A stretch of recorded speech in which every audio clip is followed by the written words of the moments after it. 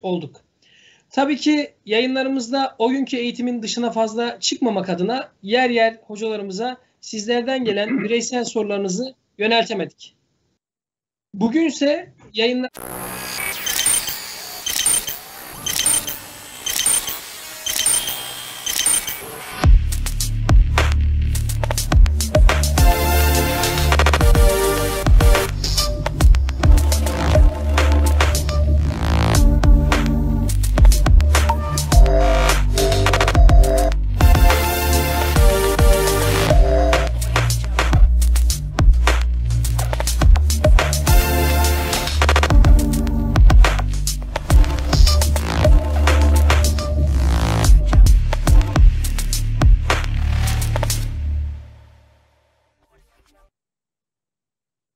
Değerli arkadaşlar, sevgili dinleyenler, Uçtan Uca e-ticaret sitesini birlikte gerçekleştirdiğimiz Bootcamp programında 9 yayın serimizin bugün son bölümünde sizlerle birlikteyiz. Ramazan ayında sizlerle uzunca mesaimiz oldu ve sizlerin evlerine hepimiz misafir olduk. Tabii ki yayınlarımızda o günkü eğitimin dışına fazla çıkmamak adına yer yer hocalarımızla bireysel sorularınızı yöneltemedik. Bugünse yayınlarımızda cevap veremediğimiz her ne varsa cevaplayalım istedik. Bu sebeple tüm hocalarımızla sizlere bugün cevap olmaya çalışacağız. Yayın konseptimizi ise açıklayacak olursak değerli arkadaşlar yayın konseptimiz şu şekilde olacak. Tüm sorularınızı ilgili hocalarımızın adını da yazarak yorum kısmına bırakabilirsiniz. Ben de nacizane sizlerden gelen soruların tamamını hocalarımıza yöneltmeye gayret edeceğim. Bu şekilde birlikte ilerleyebiliriz. Evet, Bootcamp'in kahramanları bize ve sizlere gönül vermiş sevgili hocalarımız. Hoş geldiniz, sefalar getirdiniz. Selamlar, iyi akşamlar. İyi akşamlar, iyi akşamlar. Evet, İyi akşamlar. herkese iyi akşamlar. Herkese Değerli iyi akşamlar. bugün soru ve cevap yaparak ilerleyeceğiz. Tabii soru cevaba geçmeden önce hem de e, büyüğümüz olarak Ömer Hocam sorular bir yandan gelirken ilk sözü size verelim. İlk yayında birlikte olamadık. E, Evet. Şöyle küçük bir anekdot sizden geçiş alalım. Sonra soruları tek tek arkadaşlarımızdan alıp sizlere yöneltelim. Kerem teşekkür ederim e, açılışı bana verdiğin için. E, talihsiz bir durum yaşadık. Aslında e, bu bu kampin açılış dersini de benim yapmam gerekiyordu ama dediğim gibi talihsiz bir olay yaşadık. Ben e, Covid e, bir vakası yaşadım. Biraz da ağır yaşadım. Yaklaşık bir 10 gün kadar hastanede yatırdı. E, bu süreçte son güne kadar bekledim aslında. Bir şekilde toparlarsam e, yapabiliriz bu yayını diye ama maalesef olmadı. Ee, oradan da izleyebildiğim kadarıyla gayet güzel. Yani Ramazan ayını gerçekten böyle arkadaşlarımızın verimli geçireceği bir etkinlik oldu. İnşallah bundan çok fazla kişi de yararlanmıştır. Ee, ben şahsen hani öğrenci olsaydım, işte genç arkadaşlarımızın yerinde olsaydım gerçekten e, buradaki ekip ekibi görünce e, gerçekten kaçırılmaması gereken bir fırsat diye düşünüyorum. İnşallah bu da bir başlangıç olmuş oldu. E, bu vesileyle BTK Akademi bünyesinde bunun adı Ramazan olur, bunun adı bayram olur, bunun adı başka bir zaman olur ama bunların tekrarı inşallah olur. Ne kadar çok insana bir şekilde ulaşabilirsek, ne kadar çok kişiye bir şekilde ulaşabilirsek e, bu hepimiz için, memleketimiz için, ülkemiz için, bizler için e, büyük bir kazanç.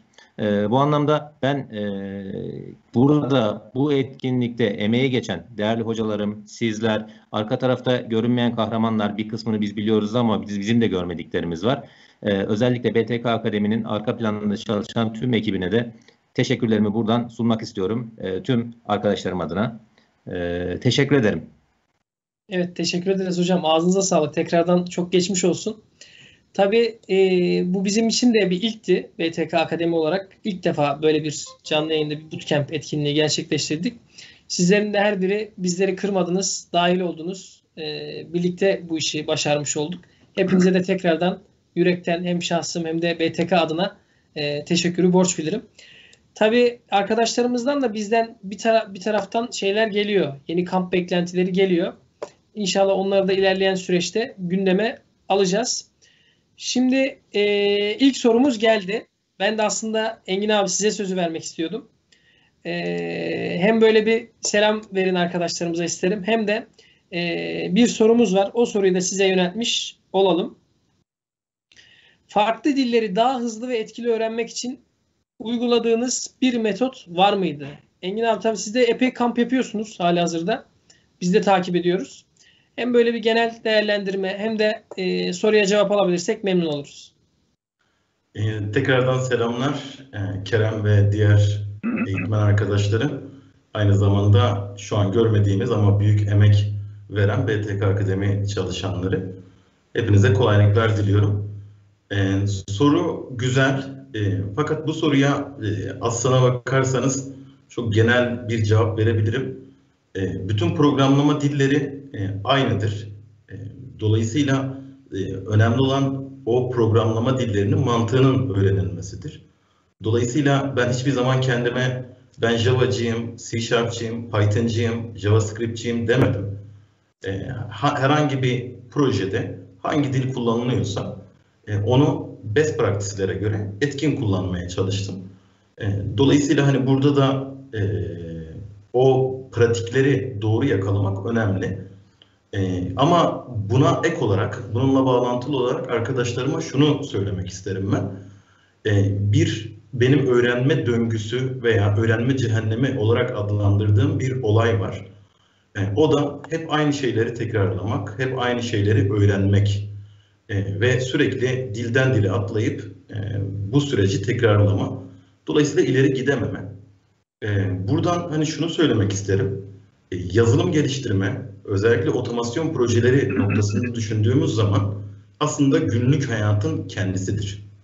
Yani bir e-ticaret sistemini düşünecek olursak, e-ticaret sistemindeki mantık aslında günlük hayattaki uyguladığımız pratiğin e, bir uygulama üzerinden, bir yazılım üzerinden yapılması. Mesela biz bir kıyafet alacağız, bir mağazaya gideriz ve o mağazada öncelikle kategorimize uygun olan bölüme gideriz. İşte e, erkek bölümü, kadın bölümü, çocuk bölümü gibi bölüme gideriz. E, ondan sonra e, beğen ürünlere bakar, bize uygun olan ürünü buluruz. O ürünü alıp kasaya gideriz. Kasada ödememizi gerçekleştiririz. Eğer kredi kartımızda yeterli limit varsa o ürünü satın alırız. Aslında e, yazılım dediğimiz otomasyon projeleri de ki otomasyon projeleri dünyadaki projelerin e, büyük bölümünü oluşturuyor. yüzde 90'ından fazlasını oluşturuyor. Aslında yaptığımız hareket o. Dolayısıyla programlamayı öğrenirken gerçek hayatla ilişkilendirsinler. E, sürekli algoritmalarla, e, matematiksel algoritmalarla çalışmak yerine onu gerçek hayatla ilişkilendirsinler. Gerçek hayattaki karşılıklarını bulmaya çalışsınlar. Onu bulduklarında artık onlar için anlamlı ve mantıklı hale geliyor. Aksi takdirde algoritma çözmek matematik çalışmaktan çok daha ileriye gitmiyor. Algoritma çözmesinler demiyorum. Çözsünler fakat bunu yazılımı özellikle öğrenirken gerçek hayatla ilişkilendirsinler. Ben hep böyle yaptım. Bu da dolayısıyla benim e, Java'da, C Sharp'ta, JavaScript'te olaya hep aynı bakmamı sağladı. Hepsinin de pratikleri aynıdır, hepsinin prensipleri aynıdır. E, sadece yazım şekilleri değişir.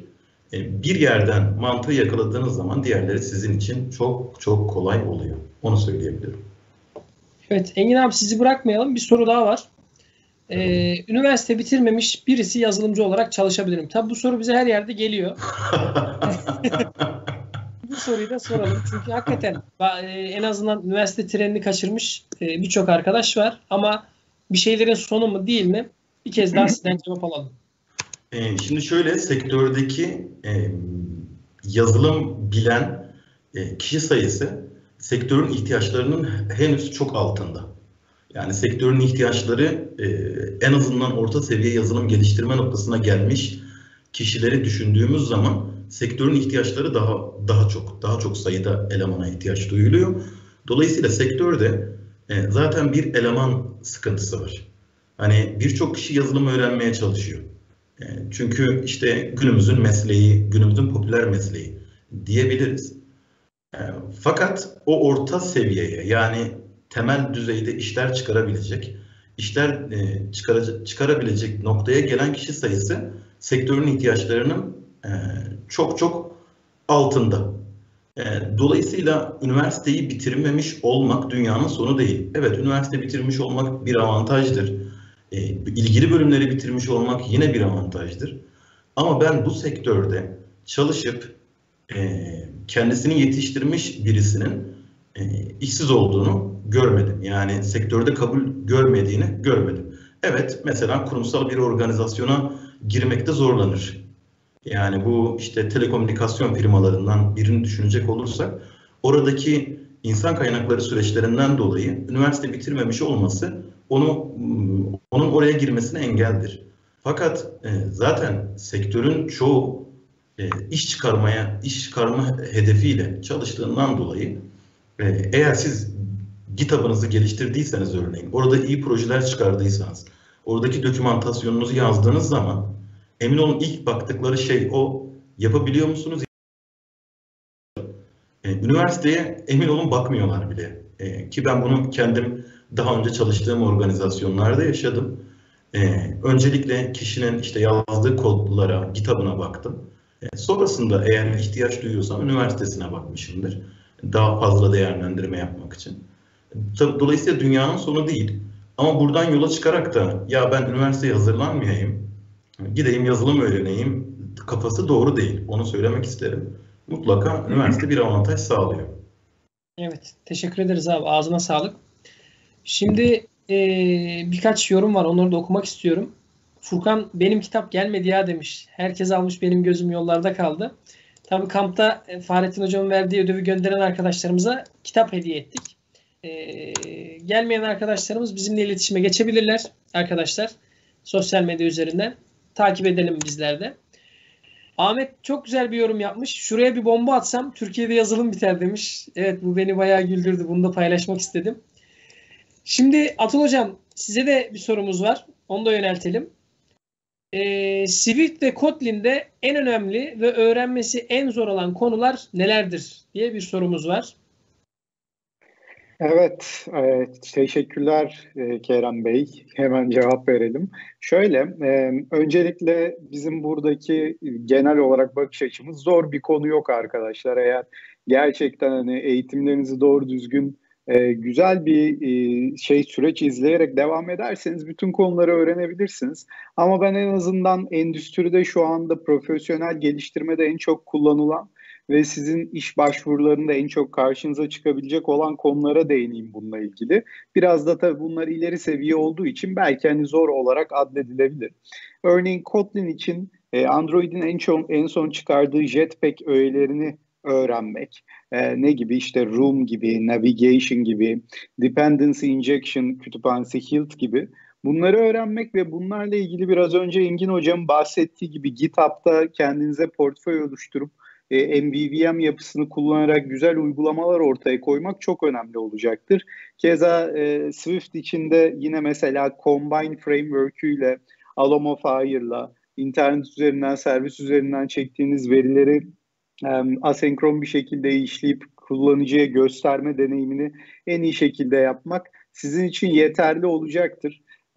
Bunlar zor gibi gelebilir ama hiç de zor değil aslında. Sadece biraz süre e, gerekiyor. Genel olarak yazılımla ilgili zaten bunu söyleyebiliriz. Maalesef uzun süreli bir iş. Yani hemen öyle birkaç ayda öğrenebileceğiniz bir iş değil.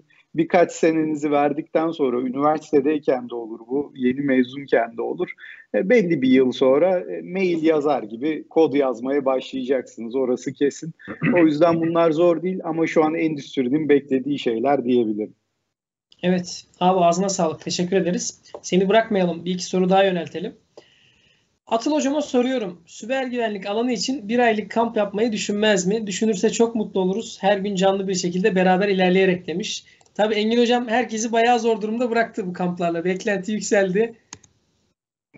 Evet, işte siber güvenlik deyince tabii ki e, çok büyük bir alana hitap ediyor. Yani network'ünden tutun Python'una, yazılımına, işte ne bileyim e, kablosuz ağların güvenliğinden web güvenliğine kadar. E, böyle bir kamp olursa mutlaka hani bir, bir gününe destek veririm ama 30 gününü muhtemelen yapamam. böyle bir kamp olursa tabii ki bir şekilde içerisinde bulunuruz ileride. E, bu konuda e, muhtemelen ileride gelişmeler olacak gibi duruyor. Şu an herkes kamplara e, oldukça e, popüler bir şekilde saldırıyor. Büyük ihtimalle fayda sağladığımız için arkadaşlar ne mutlu bize. İnşallah faydalı olmuştur bu süreç. Evet teşekkür ederiz hocam. Hocam bir soru daha yöneltelim. E, kampta yapılan backend'den aldığımız JSON Kotlin'de yaptığımız uygulamada kullanamıyoruz. JSON'ı Kotlin'de yaptığımız uygulamada kullanamıyoruz. Hata veriyor. Nasıl yapabiliriz demiş Mehmet Fatih Beyler. Ee, şöyle eğer ki yani verilen hataya göre tabii ki değişir. Eğer aldığın hata çok büyük ihtimalle öyledir. Yani normal bir istek attığında gelen cevap yani bir cevap dönüyorsa ama sen o cevabı düzgün bir şekilde modelleyip işleyemiyorsan genelde hatalar bundan ee, şu an bizim yaptığımız hani kamp içerisinde yaptığımız e, uygulamada JSON'dan gelen veriler tabii ki 5-6 parametre içeren ve çok kompleks olmayan bir yapıdaydı. Tek araştırman gereken şey gelen JSON'ı nasıl Kotlin'e göre modelleyebilirim. Hatta bununla ilgili yani Google'a direkt bu cümleyi bile yazsam JSON, Kotlin, model diye bununla ilgili web siteleri bile var. Hazır JSON'ı yapıştırıyorsun mesela sana Kotlin sınıfını geri veriyor. Ve böylece sen o sınıfı kullanarak gerçekten uygulamanda bu problemi aşabilirsin. E zaten büyük ihtimalle istek yapıp cevap almakta bir problem yoktur diye düşünüyorum. Hani onu herhangi bir veriyle deneyebilirsin. Evet, teşekkür ederiz abi. Ağzına sağlık. Şimdi e, Talha Hocam, selamlar. Burada mıyız? Selam. Evet Kerem merhaba herkese. İyi akşamlar, Merhabalar selamlar. Abi. İyi akşamlar tekrardan. Abi sana da birkaç soru yönetmek istiyoruz. Tabii Talha hocama ve diğer hocalarımıza teşekkürler demiş Servet Beyler. NoSQL ile ilgili bir örnek yapmadık. E-ticarette kullanılmıyor mu demiş. Tabi bu soruyu biraz daha da renklendirelim. Nerelerde NoSQL teknolojisini kullanıyoruz? Şimdi e, öncelikle herkese merhaba. Şöyle ufaktan ben de bir e, şeylerimi, düşüncelerimi ifade etmek isterim. E, bence çok güzel bir bir ay geçti. E, bu bir ay içerisinde farklı konulardan alanında uzman kişiler, öğretmen arkadaşlarımız, eğitmen arkadaşlarımız e, bildiklerini canlı canlı aktardı. Bence bu çok kıymetli bir şey. Ee, yani bir videodan izlemek yerine e, canlı canlı soru sorabiliyorsun. Biz hata alıyoruz. Mesela benimkinde bir hata vardı. 5-10 dakika o hatayı çözmeye çalıştık. Çözerken bir eğitmen nasıl bunu çözüyor? Stack Overflow'da hangi keywordlerle arıyor? Ee, bunları gördük. Hatta bazen bizim göremediğimiz hatayı arkadaşlarımız görüp yorum kısmına bıraktı. Bunlar çok kıymetli ve çok güzel şeyler. Çünkü e, canlı canlı oluyor. Yani bir gününü nasıl geçirdiğini, bir kod yazarken nasıl oluyorsa bunları da arkadaşlarımız görüyor. Bu doğrultuda bence çok güzel bir bir ay geçti. Gönül ister ki bu e, programların devamı gelsin, e, daha fazla yayın yapalım mümkün olduğu sürece e, farklı alanlarda farklı projeler geliştirerek biraz daha vizyon katalım. E, ama bizim görevimiz de buraya kadar oluyor açıkçası eğitmenler olarak. Bundan sonra da öğrenci arkadaşların daha çok kendilerini geliştirmeleri için e, herhangi bir alanda kafalarında senaryo üreterek bunu gerçekleştirmeye çalışmaları lazım. Yani bir e, öğrenci arkadaşımız hem çok iyi UI UX çizip hem çok iyi veri tabanı hem çok iyi backend hem frontend hem mobil olamaz zaten. Hani böyle bir şey zaten e, mümkün değil. E, fakat buradaki eğitmen arkadaşların da e, anlattığı eğitimlerden bir kariyer yolu, kariyer pedi çizmeleri gerekiyor. Ve o kariyer yolunda da atıyorum bir SEO eğitmeni olacaksa Celil hocamın tarafına biraz daha ağırlık vermesi lazım. İşte mobil tarafıysa Atıl hocamın e, gibi böyle alanlara kendilerinin artık e, kendilerinin artık o tarafta devam etmeleri gerekiyor. Ben bunun bir eksiklik olduğunu görüyorum öğrenci arkadaşlarda. Lütfen e, benim nacizane tavsiyem artık kariyer pedinizi e, özellikle 3. 4. sınıftaki arkadaşların yani ilgili bölümlerin 3. ve 4. sınıftaki üniversite okuyan e, öğrenci arkadaşlar için bir alanda uzmanlaşıp e, devam etmeleri için buradaki eğitimlerden birine e, yoğun bir şekilde artık e, adapte olmaları gerekiyor ve akabinde de e, onlarla ilgili hem kendi senaryoları ger- az önce Engin hocamın bahsettiği bir gerçek hayat problemlerini çözmeleri gerekiyor. Bunun bunun için çok güzel siteler var. İşte Stack Overflow var, Kaggle var. E, oradaki challenge'lara, yarışmalara katılmaları gerekiyor ki kendilerini zorlayabilsinler. Kendini ne kadar zorlarsan o kadar ileriye gideceksin, o kadar sorun çözeceksin. E, bu benim e, bu kamp boyunca gördüğüm, e, sadece kendi dersim değil, zaman zaman diğer hocalarımın da derslerini takip ettim. E, chat'i sürekli takip ettim neler oluyor diye. E, orada genel olarak gördüğüm bir e, fikir olsun e, anlamında söyledim. Soruya gelirsek e, NoSQL tarafını e, derste yapmadık çünkü ders 2-2,5 saatlik bir dersti. Zaten e, hem e, search optimizasyonu, Elasticsearch'ü e, entegre etmek hem de e, veri analizine geçmek kısmında zaten süreyi e, optimum seviyede kullanmaya çalıştık. O yüzden bir NoSQL'e geçemedik. Ayrıca NoSQL'e geçmek için arkadaşlar öncelikle verimizin bir kere e, o yapıda olması lazım. Şimdi eğitimlerde biz bundan çok bahsediyoruz. BTK Akademi içerisindeki eğitimlerden. Verinin çeşitleri var değil mi? Stack, e, structure veri var, yapısal veri var ve unstructured, semi-structured veriler var. Yani bir NoSQL'den bahsedeceksek zaten öncelikle elimizdeki veri türü semi-structured ya da unstructured tipinde olması lazım ki ben orada NoSQL'i kullanabileyim. Hani bu şeye benziyor. Ee, ben şehirler arasında git e, şehirler arasında ulaşım e, kullanacağım. E, araba mı kullanmam daha efektif olur, kamyon mu kullanmam daha efektif olur? Orada araba kullanacaksın ama yük taşıyacaksan kamyon kullanacaksın birçok burada teknoloji var. Özellikle veri tarafında. Orada sorunu doğru anlayıp o soruna doğru çözüm bulan teknolojiyi tercih etmek gerekiyor. E, o yüzden e, bizde şu anda semi-structure veri olmadığı için onu e, derste eklemedik. Fakat hem büyük veri e, giriş eğitiminde hem de büyük veri uygulamaları eğitiminde e, NoSQL'lerden oldukça bahsediyoruz. Hem giriş anlamında hem belli bir seviyeye gelmesi anlamında. E, umarım umar, e, umarım önümüzdeki zamanlarda BTK Akademi'de de NoSQL ile ilgili yeni eğitimler olarak bu e, daha detaylı bir şekilde devam eder. E, Kerem'in eklendiği kısımda cevap verelim. E, NoSQL teknolojileri nasıl kullanılıyor şeyde günlük hayatta şirketlerde? Özellikle e, semi-structured dataların artık e, normal database'lerde saklanamaması, e, verinin boyutu ve verinin çeşidinin farklılığından dolayı e, birçok şirket aslında e, NoSQL'leri tercih ediyor. E, burada en önemli ön, önümüze çıkan MongoDB var, Cassandra var, HBase var. Bunların hepsinin kendi e, mimarileri, kendi sorunlarına bulduğu çözümler var. Onları kullanarak aslında biz kullanıyoruz. Bankacılıkta kullandım ben. Daha önceki e-ticaret e, serüvenimde kullandım. E, ulaşım tarafında kullandık. E, aslında her sektörde böyle bir semi-structured datalar var. O semi-structured datalara yap, yani analiz yapman gerektiğinde o zaman NoSQL'e zaten başvuruyorsun. Hem analiz için hem depolayabilmek için hem yönetebilmek için. E, Bence önümüzdeki zamanlarda e, Ömer Hocam daha iyi bunu e, yorumlayacaktır ama artık e, semi-structure dataları daha fazla göreceğimizi düşünüyorum. Unstructured datalarımızı. Tabii ki structure dataların analizi çok önemli. Fakat artık e, hem machine learning'e giden tarafta hem artificial intelligence'a giden tarafta e, data yönetimi özellikle semi-structure data yönetimi boyut ve hacimsel olarak çok önemli olduğunu düşünüyorum. Evet teşekkür ederiz abi. Bir sorumuz daha var bırakmayalım sizi büyük veri ve makine öğrenmesi ile ilgili ne gibi örnekler yapabiliriz demiş. Ee, birçok birçok örnek yapabiliriz. Yani e, bunun bir ucu yok. Aslında burada yine aynı şey geliyor. E, senin sorunun ne? E, senin elindeki data ne? Bunlara bakarak e, örnekler yapmamız lazım.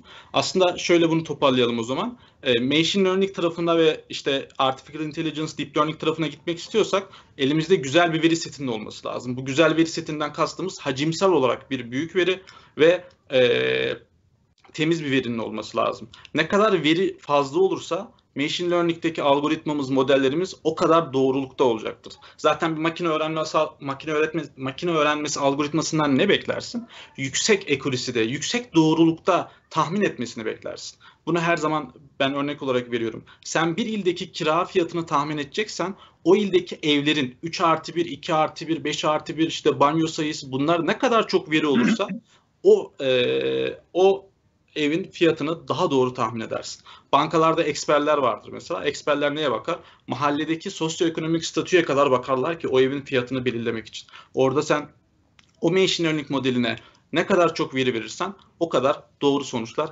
alacaksındır. Doğruya yakın sonuçlar alacaksındır. Ben bir model yaparım %95'tir. Sen yaparsın %96 doğruluğu. Orada da büyük veri tarafında ve machine learning tarafının kullanımı tamamen bu şekilde gerçekleştiriliyor. Ama orada spesifik hani neler yapılır gibi bir şeyi doğrudan cevaplamak e, çok doğru olmaz. Çünkü dataya bakmak lazım, analize e, alana bakmak lazım. E-ticaret için mi konuşuyoruz, bankacılık için mi konuşuyoruz, ulaşım için mi konuşuyoruz? Devlet nezdinde bir e, şeyden mi kurumdan mı bahsediyoruz? Çok çeşitli ama e, birçok örnekleri yapıyoruz diyebilirim Kerem. Evet teşekkür ediyoruz abi. Ağzına sağlık. Katkıların içinde. Her zaman. Teşekkür Teşekkürler. ediyorum. Şimdi e, Ömer abi tekrardan sizi davet edelim. Burada mıyız? Geliyor mu sesimiz? Mikrofonumu açayım. Evet evet şu an şey benim sesim geliyor mu? Tabii alıyoruz abi. Heh, Şimdi tamam. e, Abdullah Beyler sormuşlar. Ömer hocama öncelikle geçmiş olsun. Sizin e, BTK Akademi'deki TSQL eğitimlerinizi aldım. E, herhalde burada bir yanlış yazım var. Et Akquery diye ama tüm, tüm, SQL'i bakayım. muhtemelen Soruya bakayım çalışayım. bulamayabilirsiniz. Bu veri tabanı ile ilgili bir iş için Tamam. yeterli midir? Ee, şeyi anlamadım. O kısmı anlamadım. Bir sesin soruyu- gitti orada Kerem. Abdullah'tan bir daha rica etsek çünkü yazılar e, pek anlaşılmıyor, mantık içermiyor şu anda. TSQL tarafı tamam ama diğer taraf e, anlaşılmıyor. Abdullah senden ricamız bunu bir daha yöneltebilirsen seviniriz. Bir diğer Başka soru, soru varsa ona geç istersen Tabii. Abdullah onu gönderene kadar. Evet, Ümit Beyler sormuşlar. Trigger ile database stok takip otomasyonu yapılabilir mi? Ömer hocamıza sorabilir misiniz demiş Ümit. Ee, Kerem sen konuşurken sesin gidiyor. Bende mi sıkıntı var? Diğer arkadaşlar da duyamıyor mu bilmiyorum ama ben şeyi anlamadım. Soruyu anlamadım. Tekrar yöneltiyorum. Sesim Tamam. geliyor mu hocam? Duyuyorum şu an. Hı, Tamam. duyuyorum. Trigger ile database stok takip otomasyonu yapılabilir mi? O soruyu Evet, demin hocam, şurada e, şey akışların içerisinde ben de gördüm. Aslında orada bir e, şey var. Benim derslerde trigger'ı anlatırken anlattığım bir örnek var. Sanıyorum oradan bir kafa karışıklığı oluyor. Hı hı. Stok takibi yaparken trigger demek bir tetikleme işlemidir. Yani bir yerde bir tabloda bir hareket olduğunda başka bir tabloda işte e, başka bir taraf tetikleyecek bir şey yapmaktır. Burada da işte e, çok fazla kaydın olduğu belki yüz binlerce işte milyonlarca kaydın olduğu yerde artı eksi giriş çıkış hareketlerinden stoğu hesaplamak yerine her işlem olduğunda bir stok tablosunu update etmek, trigger'la update etmek bir yöntemdir. Bunun adına stok otomasyonu demek doğru bir şey değil çünkü o başka bir şey gibi anlaşılıyor. Ama bir stoğu trigger'la bu şekilde daha hızlı görebilecek hale getirebiliriz. Yani artı eksi hareketlerin e, milyonlarca hareketin içinden stoğu hesaplamak yerine e, stok sayısı kadar e, satırın olduğu başka bir tabloyu tetiklemek, güncellemek daha pratik bir yöntemdir. E, derste de bunu anlatıyorum. Örnek olarak anlatıyorum zaten. Sorusuna sanıyorum cevap oldu. Evet. Teşekkür ederiz abi yorumların için. Diğer soru tekrardan geldiğinde e, tekrardan sizden ricacı olacağız abi. Teşekkür Tamam, ederiz. hay hay. Pardon bir sorumuz daha vardı. Onu da yönelteyim. E, Ümit Bey sormuş. SQL teknolojisi eskidi mi? Şimdi e, o soruyu akışta ben de gördüm ve e, şeye baktım. Yani bu soruya cevap verebilmek adına Google'a şey yazdım. Türkiye'deki şirket sayısını yazdım. Türkiye'de ilk çıkan sayı Türkiye genelinde e, geçen ay diyor aktif firma sayısı 1 milyon 998 bin 412. Yaklaşık 2 milyon firma olmuş Türkiye'de. Bunların işte irili ufaklı, büyüklü küçüklü baktığımız zaman işte %20'si, %25'i ha- böyle hattı sayılır bir database sahibi olduğunu düşünürsek e, nereden baksanız 200-300 bin tane firmaya tekabül ediyor. Şimdi bunlara baktığımız zaman da e, %90'ın da 95'inde arka tarafta bu firmalar ne kullanıyor? İşte CRM sistemleri kullanıyor, ERP sistemleri kullanıyor, işte insan kaynakları kullanıyor ve bu sistemlerin arkasında da yine %90'ına 95'ine baktığımızda bizim yapısal veri tabanlarını görüyoruz. Oracle'ını görüyoruz, SQL'ini görüyoruz, PostgreSQL'ini görüyoruz. Dolayısıyla birçok yeni teknoloji var. Biraz önce Talha Hocam konuştu, işte NoSQL ile alakalı konuştu. Ee, ama hala piyasanın hakimi yapısal veri tabanları. Dolayısıyla bu şu anda bitecek bir şey değil. Yani e, acaba yeni teknolojiler çıkıyor, ben onlara yönelsem e, bununla zaman mı kaybediyorum gibi arkadaşların kafasında soru işareti var. Birincisi bu kesinlikle yanlış. E, hem geleceği olmadığından dolayı yanlış, yani geleceği olmadığı kanısı yanlış. Hem de ben veriyle konuşmanın başlangıç noktası olarak hep e, yapısal veri tabanını ve onun da dili olan SQL dilini hep öneririm. Çünkü o apayrı bir dünya. Gerçekten veriyi analiz etmek, tabloları analiz etmek, e, bunların arasındaki ilişkiyi kurmak, bağlantıyı kurmak e, bu SQL ile ba- başlanılacak bir şey. Yani birden hop ben işte NoSQL ile başlayayım veya işte yapısal olmayan veriyle başlayayım, işte Big Data ile başlayayım noktası dediğimiz zaman o doğru bir gidiş yolu değil. Veriyle uğraşacaksan en azından basic seviyede temel SQL komutlarıyla istenilen bir raporu, sözel olarak düşünülen bir raporu e, veri olarak çekebilecek beceriye, bilgiye sahip olmak gerekir. Kaldı ki ilerleyen zamanlarda daha ileriye gitmek istiyorsan e, bu veri tabanları çok çok yetenekli veri tabanları. Bugün bankacılık sisteminin arkasında bunlar çalışıyor. E, büyük işte hepsi buradanın gitti gidiyorun arkasında bu sistemler çalışıyor. Her ne kadar biraz hibrite dönüşse de örneğin işte veri analizi yaparken arka tarafta Elasticsearch, e, Mongo vesaire gibi şeyler kullanılıyor ama verinin asıl tutulduğu, bütün transaction'ların gerçekleştiği yer arka tarafta bu yapısal veri tabanları. Ve işin içine girdiğiniz zaman aslında e, sizin burada temel SQL komutları olarak öğrendiğiniz 4 tane select, insert, update'in devede kulak olduğunu görüyorsunuz. Çünkü Oracle kendi içerisinde PLSQL'i geliştirmiş. MS SQL kendi içerisinde Transact SQL'i geliştirmiş. Ve bu diller o kadar gelişmiş ki aslına bakarsanız herhangi bir programlama dilinde yapabileceğiniz her şeyi yapma imkanını sunuyor. Hemen hemen her şeyi diyeyim daha doğrusu. Yapma imkanını sunuyor size. E, ve bu firmalar ya yani bu şirketler e, bu işe bu kadar yatırım yapmazdı eğer e, bu işin böyle geleceği şey olmuş olsaydı. Daha geniş bir zamanda yine konuşuruz ama şimdilik buna verebileceğim e, cevap bu kadar. Ömer Hocam şimdi bir soru daha var. Onu da size yönetmek istiyorum. Efşan Nart sormuş. Bilgisayar veya yazılım mühendisi olanlar staj bulmakta çok zorlanıyor. Bunun hakkında ne düşünüyorsunuz? Tecrübe edinemiyoruz demiş. Siz de sektördesiniz. Ne düşünüyorsunuz hocam? Niye böyle bu durum? Ee, soru bana mı Kerem? Kaçırdım orayı. Soru aslında umuma sorulmuş bir soru ama ben soruyu ha, size tamam. yöneltmek istedim. Ha tamam. Ee, bu arada demin bir ekranda da donma gördüm ama benim sesimde bir gitme gelme sıkıntı yaşandı yok, mı? Gayet sorun, sorunsuz hocam. Devam edebiliriz. Tamam. Ee, Kerem soruyu bir daha söyler misin? Tabii. Bilgisayar ve yazılım mühendisi olanlar staj bulmakta çok zorlanıyor. Bunun Doğru. hakkında hocalarımız ne düşünüyor? Tecrübe edinemiyoruz demiş. Ee, bununla alakalı ben çok e, talep alıyorum ve şu an benim çalıştığım şirketim de pandemi sebebiyle e, stajyer kabul etmedi bu sene. Daha doğrusu son bir buçuk senede. Şu anki çocukların en büyük sıkıntısı o. Şirketler e, çoğunluğu zaten evden çalışmaya geçtiği için stajyer kabul etmiyor. E, bu noktada acilen bir şekilde uzaktan stajı hayata nasıl geçiririz buna kafa yormak lazım. Çünkü belli ki bu pandemi biraz daha sürecek ve bu çocuklar e, bu şekilde zaten eğitimi de uzaktan alıyorlar. Mezun olacak noktaya geliyorlar. En azından burada bir takım yöntemler geliştirilip bu mümkün. Hani şey değil stajyerin birebir yanınızda olması gerekmiyor. Zaten yanınızda olması sizin için iyi bir şey de olmayabiliyor. Çünkü onu bu sefer başka işlerde falan kullanılıyor stajyerler.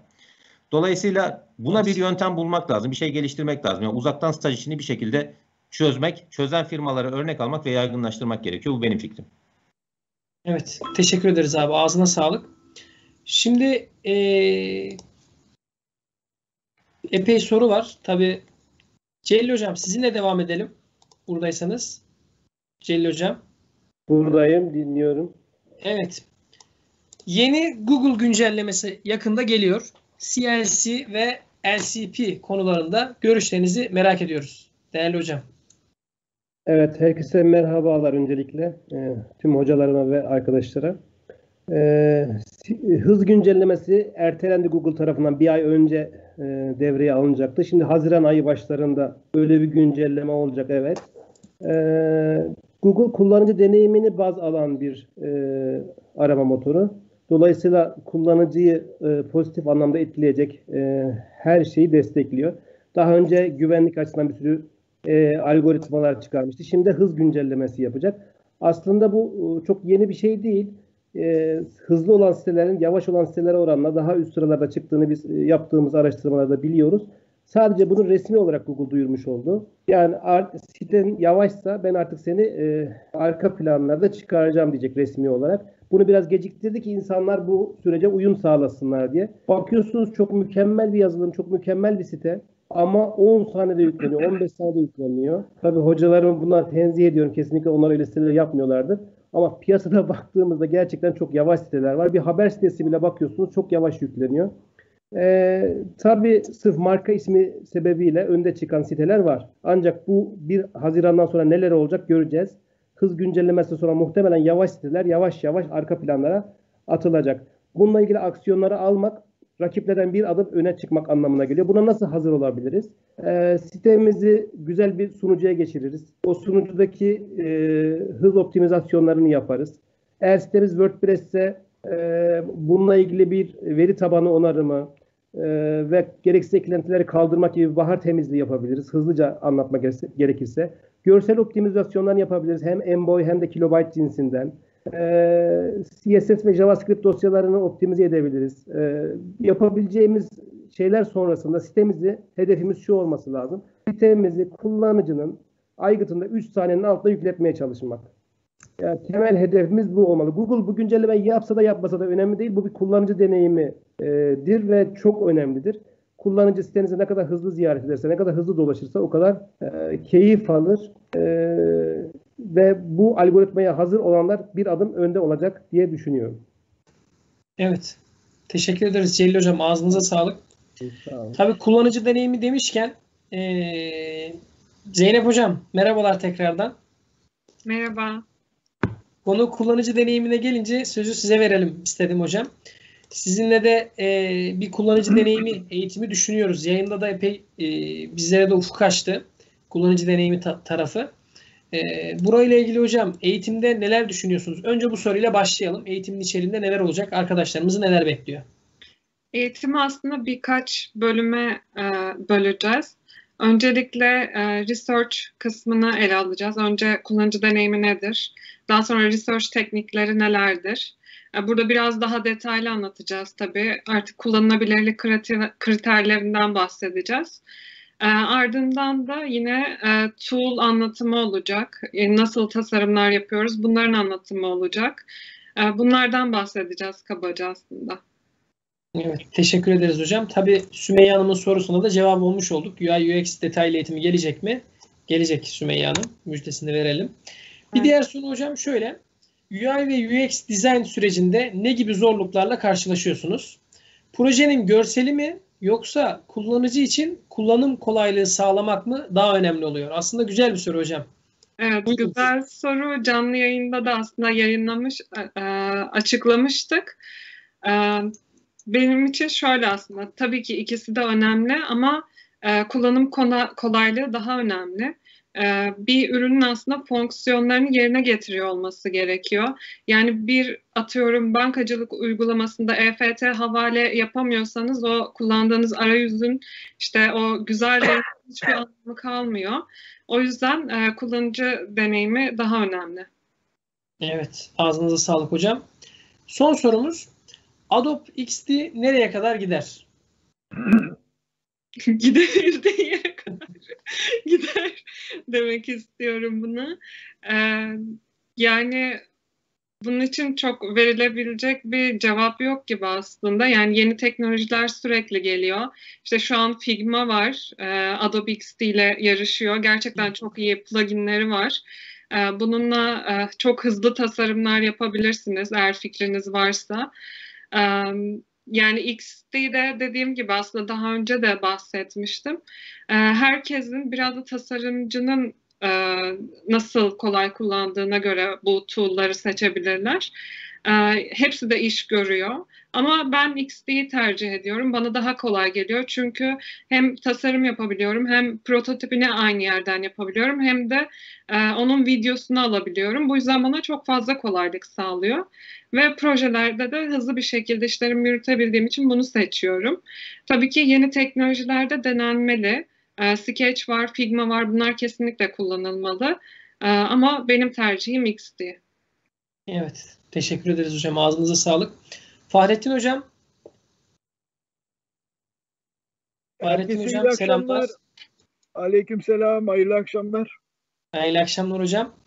Hocam tekrardan merhabalar. Şimdi merhabalar. E, size de sormak istediğim birkaç sorumuz var. Programlamada karşılaştığınız en unutulmaz problem hangisi oldu? en zor soruyu bana sordunuz ama ya. Buyurun hocam. E, şöyle söyleyeyim. E, ben şu anda ne yapıyorum? Biraz onunla ilgili bilgi verirsem e, biraz da cevap olacak. E, en son yaptığım proje aflatoksinli incirlerin ayıklanması ile ilgili bir projeydi. Bir görüntü işleme. Saniyede e, aşağı yukarı 150 tane fotoğraf çekip bu fotoğrafların analiz edilmesi, aflatoksinli incirlerin tespit edilip bunların konveyör banttan uzaklaştırılması gerekiyordu. Yani normalde bir yüz tanımada atıyorum belki saniyede 5 tane 10 tane fotoğrafla iş halledebilirsiniz belki ama e, bazen çok ekstrem projeler olabiliyor. Çok hızlı görüntü işleme yapmanız gerekebiliyor. e, hızın söz konusu olduğu yerde e, tabii ki yazılımı çok iyi optimize etmeniz gerekebiliyor. Donanımı çok iyi optimize etmeniz gerekebiliyor.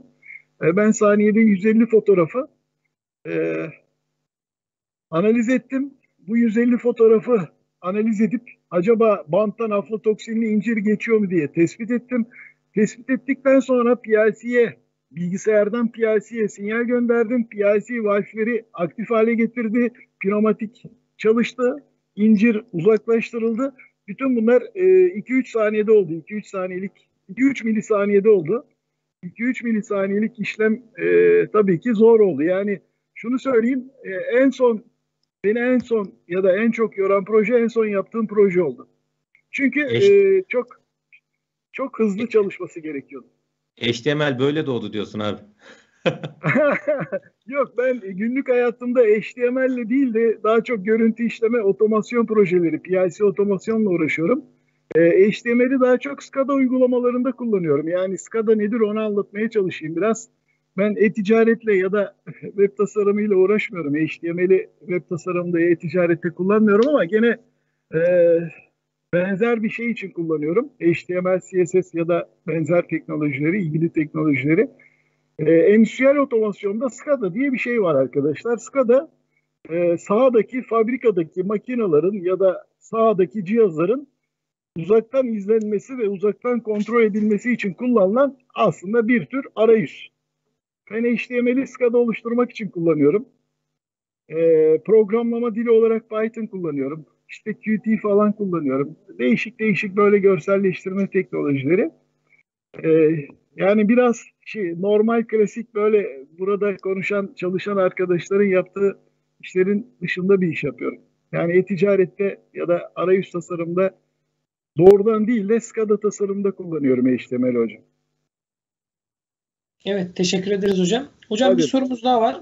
Bırakmıyoruz. Ee, yazılım uzmanı olmak için nasıl geliştirmeliyiz? Kendimizi yazılım uzmanı olmak için nasıl bir yol izlenir demiş Efşan Nart. Buyurun hocam. hocam şöyle söyleyeyim ben. E, piyasada çok fazla teknoloji var. Ben 1991 yılında başladım programcılığa. Hasbelkader elektronik mühendisliği okumaya başladım. 91 yılında C programlama dilini öğrettiler bize. O zamanlar DOS işletim sistemi vardı, C programlama dili vardı. Piyasaya çıktığınızda bu ikisini biliyorum dediğinizde o sizi bir şekilde alıyorlardı, çalıştırıyorlardı, istihdam ediyorlardı. Yani ben 95'te okuldan mezun olduğumda assembly biliyordum. E, DOS işletim sistemini biliyordum. C programlama dilini biliyordum. Valla onlarla ekmeğimizi çıkarttık. Fakat günümüzde Günümüzde maalesef durum böyle değil. Günümüzde çok farklı teknolojiler var. Masaüstü uygulamaları, web uygulamaları, mobil uygulamalar ve daha bir sürü uygulamalar var. Arkadaşların kendilerini belli bir konuda uzmanlaştırmaları gerekiyor. Yani bir konu seçip, örneğin ben web uygulamaları geliştireceğim. E, web uygulamasını da nasıl yapacaksınız? JavaScript ile mi, Java ile mi, C Sharp ile mi yapacaksınız? Belli bir programlama dili, belli bir teknoloji seçip o konuda uzman hale gelmeleri gerekiyor. Yoksa hocam benim düşüncem böyle tabii ki. Diğer arkadaşlar ne söyler? Diğer arkadaşların da bence görüşlerini almakta fayda var. Benim düşüncem arkadaşlar belli bir dili, tabii algoritma mantığını öğrendikten sonra belli bir dili iyi öğrensinler. O dil üzerinde çalışsınlar. Yani bu dil Python olabilir, bu dil C Sharp olabilir, C, C++ olabilir, Java olabilir. Bir dili çok iyi öğrensinler ve o dilde uzman hale gelsinler. Yani işte mahallede bir Javacı arandığında ha bu arkadaş Java'yı çok iyi biliyor denilsin yani. Her şeyi biliyor. İşte C de biliyor biraz. C Sharp da biliyor, Java da biliyor, Python da biliyor ama hiçbirini iyi bilmiyor. Durum böyle olunca ortaya çok da güzel projeler çıkmıyor arkadaşlar. Yani benim tavsiyem bir dili pratik olarak da teorik olarak da çok iyi düzeyde öğrenmek. Yani bu e, siz kendiniz karar vereceksiniz. Hangi dili öğreneyim? Belki şöyle olabilir ya hangi dili öğreneyim? E, kariyer neti açarsınız. Bakarsınız orada en çok hangi dil bilen aranıyor? İşte C Sharp'çı mı aranıyor? Java'cı mı aranıyor? İşte 700 tane C Sharp'çı, 900 tane Java'cı aranıyorsa işte hadi Java'yı öğreneyim güzelce ne falan diyebilirsiniz. Uzun lafın kısası belli bir konuda uzmanlaşmak lazım. Yani her şeyi az bilmek yerine bir taneyi çok bilmek daha önemli. Evet. Teşekkür ederiz hocam. Böyle bu rica ederim. Ama diğer arkadaşların da görüşleri çok önemli. Ee, neden çok önemli? Ben İzmir'deyim. İzmir e, yani e, doğrusunu söylemek gerekirse yazılım sektörünün çok da gelişmiş olduğu bir bölge değil. Evet bir iki tane teknoparkımız var. Orada projeler yapılıyor ama çok da böyle hocam e, büyük projeler yapılmıyor. İstanbul'daki arkadaşların bu konuda çok daha iyi düşünceleri olabilir bence. O yüzden e, özellikle İstanbul'da, Ankara'da çalışan arkadaşlar bu konuya cevap verirlerse bence daha iyi olacak. Tamamdır hocam. Çok teşekkür ederiz. Celil hocam birkaç soru daha vardı. Sizi sormayı atladım. Onları da yönetmek isterim. Sitemizi ilk aramalarda nasıl çıkarabiliriz ve responsive sitelerin SEO optimizasyonu nasıl olmalıdır? Vallahi herkesin aradığı cevap zaten bu. İlk aramada nasıl çıkmak, ilk sıralarda nasıl çıkmak. Tüm SEO bu zaten. Şimdi iki dakikada bunu anlatamayız. Ama genel anlamda söyleyebileceğim şeyler var tabii ki. Öncelikle BTK Akademi'deki SEO eğitimini alması olacak bu arkadaşın. Aldı mı bilmiyorum. Bundan sonra Google'ın bir SEO nedir dokümanı var. Yaklaşık 200 sayfa. Bunu kesinlikle okumasını tavsiye ederim. Tabii her şey kitabı da uygun bir şekilde yapınca e, çok başarılı olmuyorsunuz. Biraz da farklı sitelerden, forumlardan vesaire bilgileri, güncel bilgileri takip ederek e, ilk arabalarda çıkmaya çalışılabilir. Tabii şöyle diyelim rekabet ne kadar fazlaysa o kadar fazla çalışması gerekecek.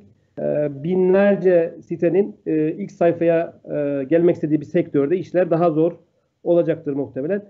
Responsive e, siteler için SEO nasıl olur? Buna özel bir SEO yok. E, responsive sitelerin mobil aygıtlarda rahat bir şekilde dolaşılabilmesine e, dolaşılabilmesine deniyor. Şimdi e, diğer SEO çalışmalarla responsive sitelerde yapılacak çalışma aynı. Yani demek ki dediğim kurallar geçerli. E, normal SEO çalışmalarını e, yakinen takip etmesi, Google algoritmalarını takip etmesi ve kendini güncellemesi gerekir. Evet. Çok kritik bir sorunun da cevabı oldu. Her zaman geliyor bu soruda. Yani, hazır e, hazır şeyler yok yani hap niteliğinde. İşte şunla şu üç şeyi yap, e, olay tamam böyle bir şey yok. E, ne yaptık dün akşamki canlı yayında 200'e yakın başlığı inceleyemedik geri hepsini ama e, bunları bile yaptığınız zaman Google beni alacak hemen oraya çünkü Google algoritmalar da kusursuz değil. E, her şeyi doğru yapsanız bile başarılı olamama ihtimaliniz var. Bunu da kenarda tutmak lazım. Evet. Hocam bir sorumuz daha var. Yasin Bey sormuşlar. Yasin Erdem selamlar. Celil Hocam 5G geldiğinde hızı ön plana atılan siteler çöp mü olacak? Valla çöp olmaz tabii ki.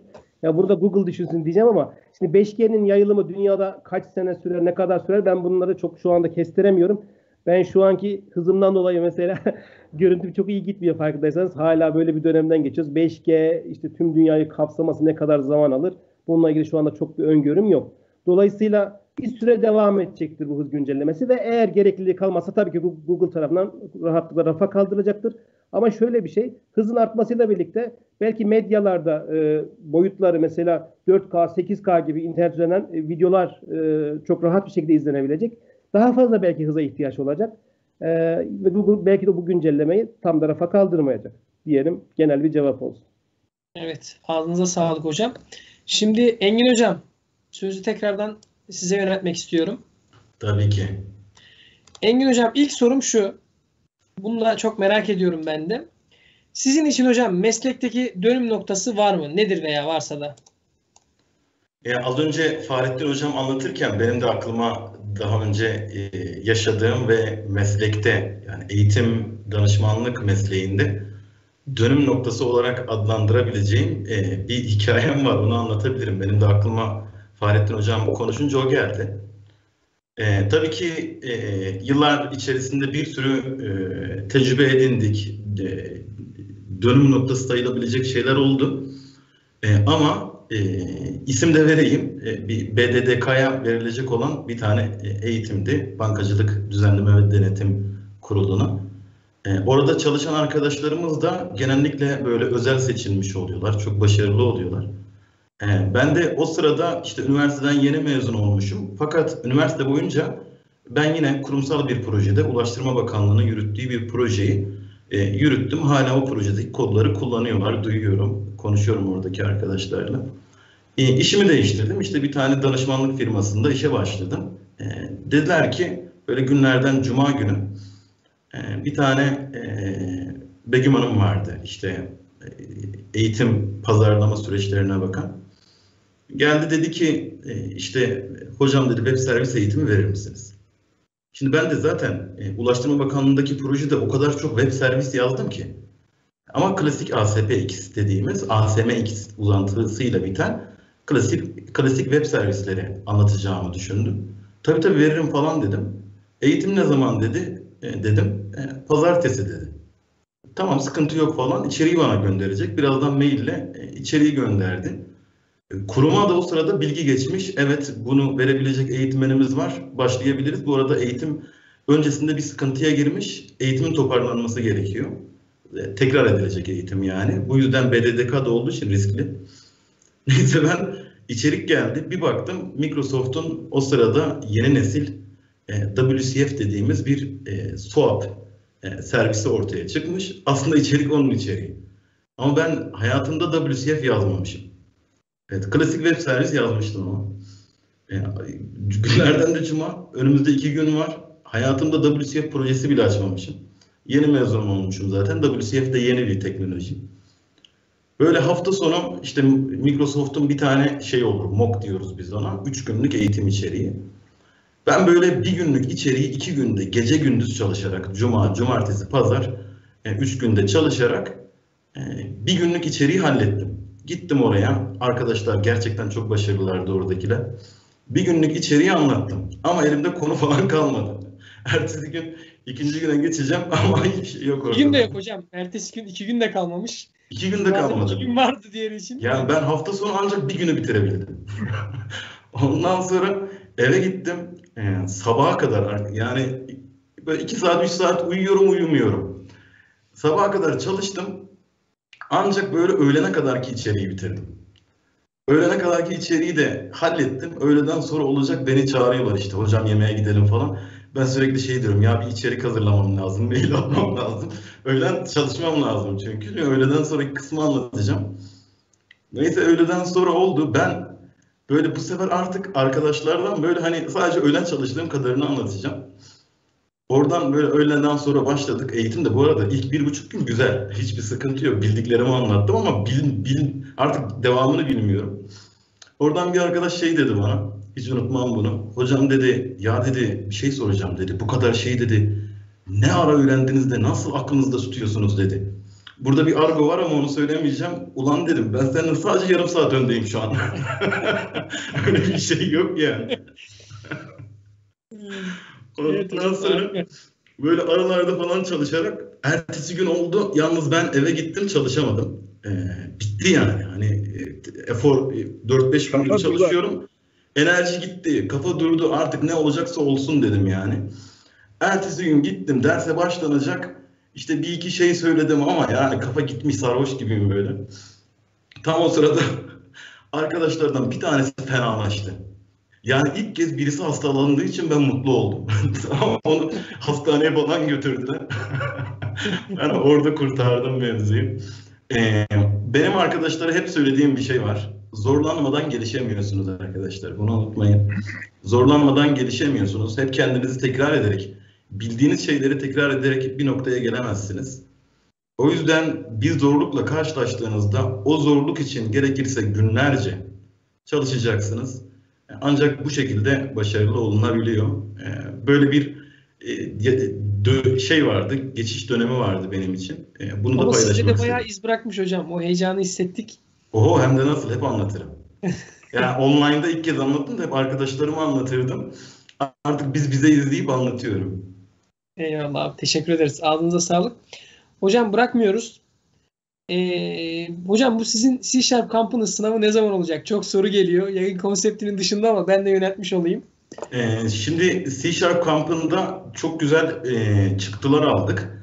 E, 317 kişi e, projenin sonunda ortaya çıkan kurumsal projeyi bitirebildi. E, onu LinkedIn'de paylaştık ve o sektörde tabii ki e, insanlar kalifiye yetişmiş, e, işverenler kalifiye yetişmiş personele ulaşabildiler. Tabii çıktıları çok güzel olunca bu kampa da ondan dolayı aşırı ilgi var. Ee, sınavla ilgili de orijinal bir sistem üzerinde çalışıyorum. Ee, bir insan kaynakları yönetim sistemi projesi üzerinde. Bunu da zaten kamp boyunca arkadaşlarla yapacağız. Yani bu bir community, hep ücretsiz bir sistem olacak. İşverenler de bir araya gelecek. E, dolayısıyla orijinal bir sınav yapmak istiyorum. E, o sistem üzerinde çalışıyorum. Eksiği gediği olmasın istiyorum. E, sınav olacak. E, onun duyurusunu ben e, arkadaşlarıma e, çeşitli platformlardan yapıyor olacağım. Evet, teşekkür ederiz hocam. Hocam hakikaten sizin bu kamplarda e, biz de BTK olarak işin bir tarafındayız ama sizin kamplar da gerçekten ciddi bir e, öğrencilere katkı sağlıyor. E, biz de çok hakikaten e, kurum olarak da destekliyoruz. Çok da memnun oluyoruz. Onu da ifade etmek isterim. Hocam bir diğer soru da şöyle. E, devam edelim. Birkaç adet CSS kursu aldım. Hatta bilgisayar programcılığı okuyorum. Okulda bile aldım. Ancak CSS'i inciğine cinciğine kadar öğrenmediğimi düşünüyorum. Öneriniz nedir? Bu soru Fahrettin Hocam olmalı. Size yöneltildiği için size yönelttim. Ama bu soruyu Fahrettin Hocam'a saklayalım. Doğru isim Fahrettin Hocam olacaktır. İsterseniz siz de birkaç kelam edebilirsiniz hocam. Nasıl uygun görürseniz. Yani ben de CSS'i inciğine cinciğine kadar bilmiyorum açıkçası. Ee, ben daha çok işin backend ve onun frontend tarafında e, otomize edilmesiyle ilgilenen taraftayım. Dolayısıyla işin görselleştirilmesi noktasında e, onu başka arkadaşlarımın, o konuda uzmanlaşmış arkadaşlarımın e, yapmasını bekliyorum. O konuda da e, CSS konusunda da benim bir öğrenme, ciddi bir öğrenme sürecim yok. Dolayısıyla bu konuda yanlış yönlendirmek istemem. Ee, belki Fahrettin Hocam'ın uzmanlık alanı olduğu için o daha iyi yönlendirecektir arkadaşlarımı. Evet, teşekkür ederiz hocam. Hocam bir diğer soru da şöyle. Türkiye'de yazılım programlama alanında açık fazla mı? Şu an birçoğumuz lisede ve üniversitede minimum 4-5 seneye işe gireceğiz. O zamana kadar boşluk varsa hala o boşluk durur mu? Hocam siz ciddi manada danışmanlık çalışmalarını sürdürüyorsunuz. Hani birçok kurumla da iştikalsiniz. Ee, sizin yorumunuzu merakla bekliyoruz. Ee, ben bu soruyu şöyle anladım. Aslında o ilk konuştuğumuz zaman bir önceki e, seansta bana söz verdiğinde Kerem e, şey söyledim. İşte dedim ki sektörün ihtiyaçları kalifiye personel sayısından daha fazla. Yani o da şeyi sor, sormak istiyor. Tamam şu an fazla ama ben 5 sene sonra bu işin sonuna yani iş arayı noktasına mezun olunca olana kadar 4-5 sene geçmiş olacak. Hala o açık devam edecek mi? Ee, daha büyük bile olabilir. Çünkü e, mesela şu an pandemi dönemindeyiz. Bu pandemi dönemi bile e, yazılıma olan ihtiyacı e, kat be kat arttırdı ve bu ilerleyen zamanlarda e, online dünyanın etkisi daha fazla olacak. E, dolayısıyla e, kalifiye eleman yetişmesi de e, bu kadar hızlı olmuyor açıkçası. Dolayısıyla 4-5 sene sonra bu sayı daha da artacaktır. Yani sektörün ihtiyaçları kalifiye personel sayısından fazla olacaktır. Tabii işte böyle BTK Akademi olarak yaptığınız içeriklerle, kamplarla bu açığı kapatmaya çalışıyoruz tabii ki. Ama rahat olsun. Kendini yetiştir, kendini yetiştiren, e, çalışan bir kişinin ben bu meslekte e, henüz işsiz olduğunu görmedim. Kesinlikle hocam katılıyorum. Teşekkür ederiz hocam. Ağzınıza sağlık. Şimdi e, Ömer hocam. Ömer hocam burada mıyız? Buradayım. Açtım mikrofonumu. Evet. Abi birkaç soru da size yöneltmek istiyorum. Dinliyorum. Buyur abi.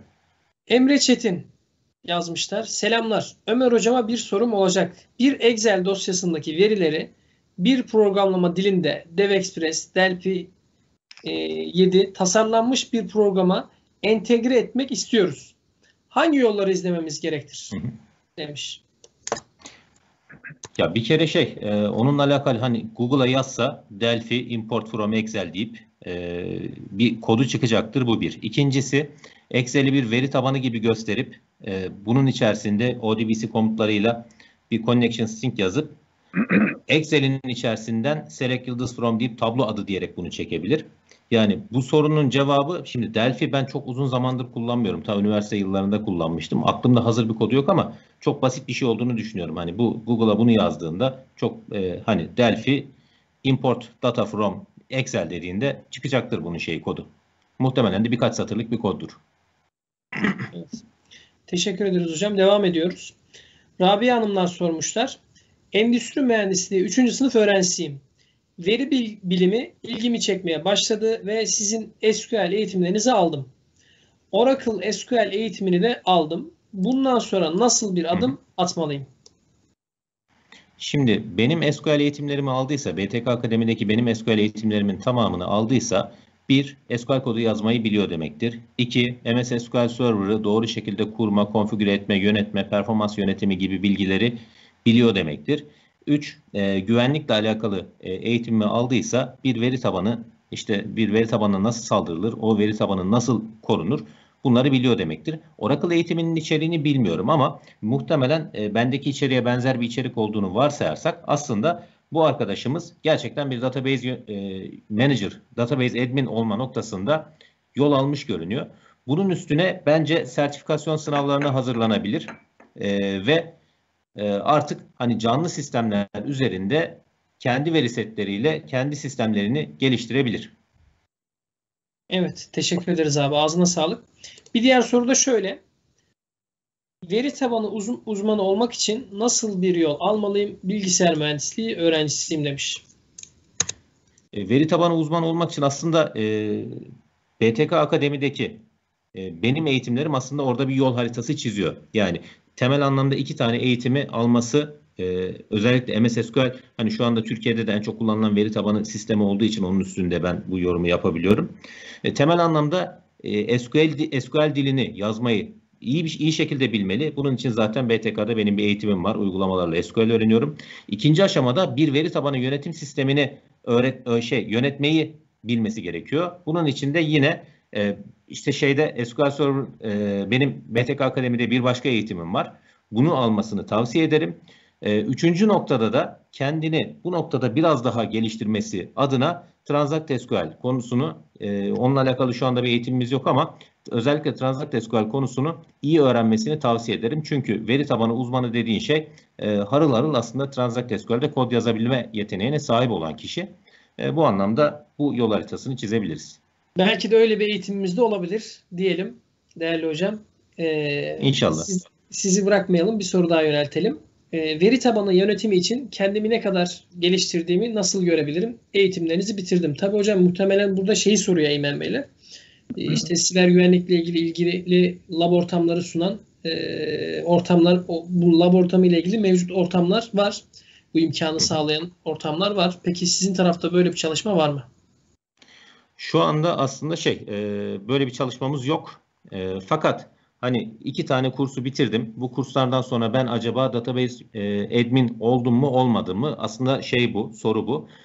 E, bununla alakalı şu an e, burada hani paylaşamıyorum. Birkaç tane site var. E, özellikle soru cevaplar şeklinde.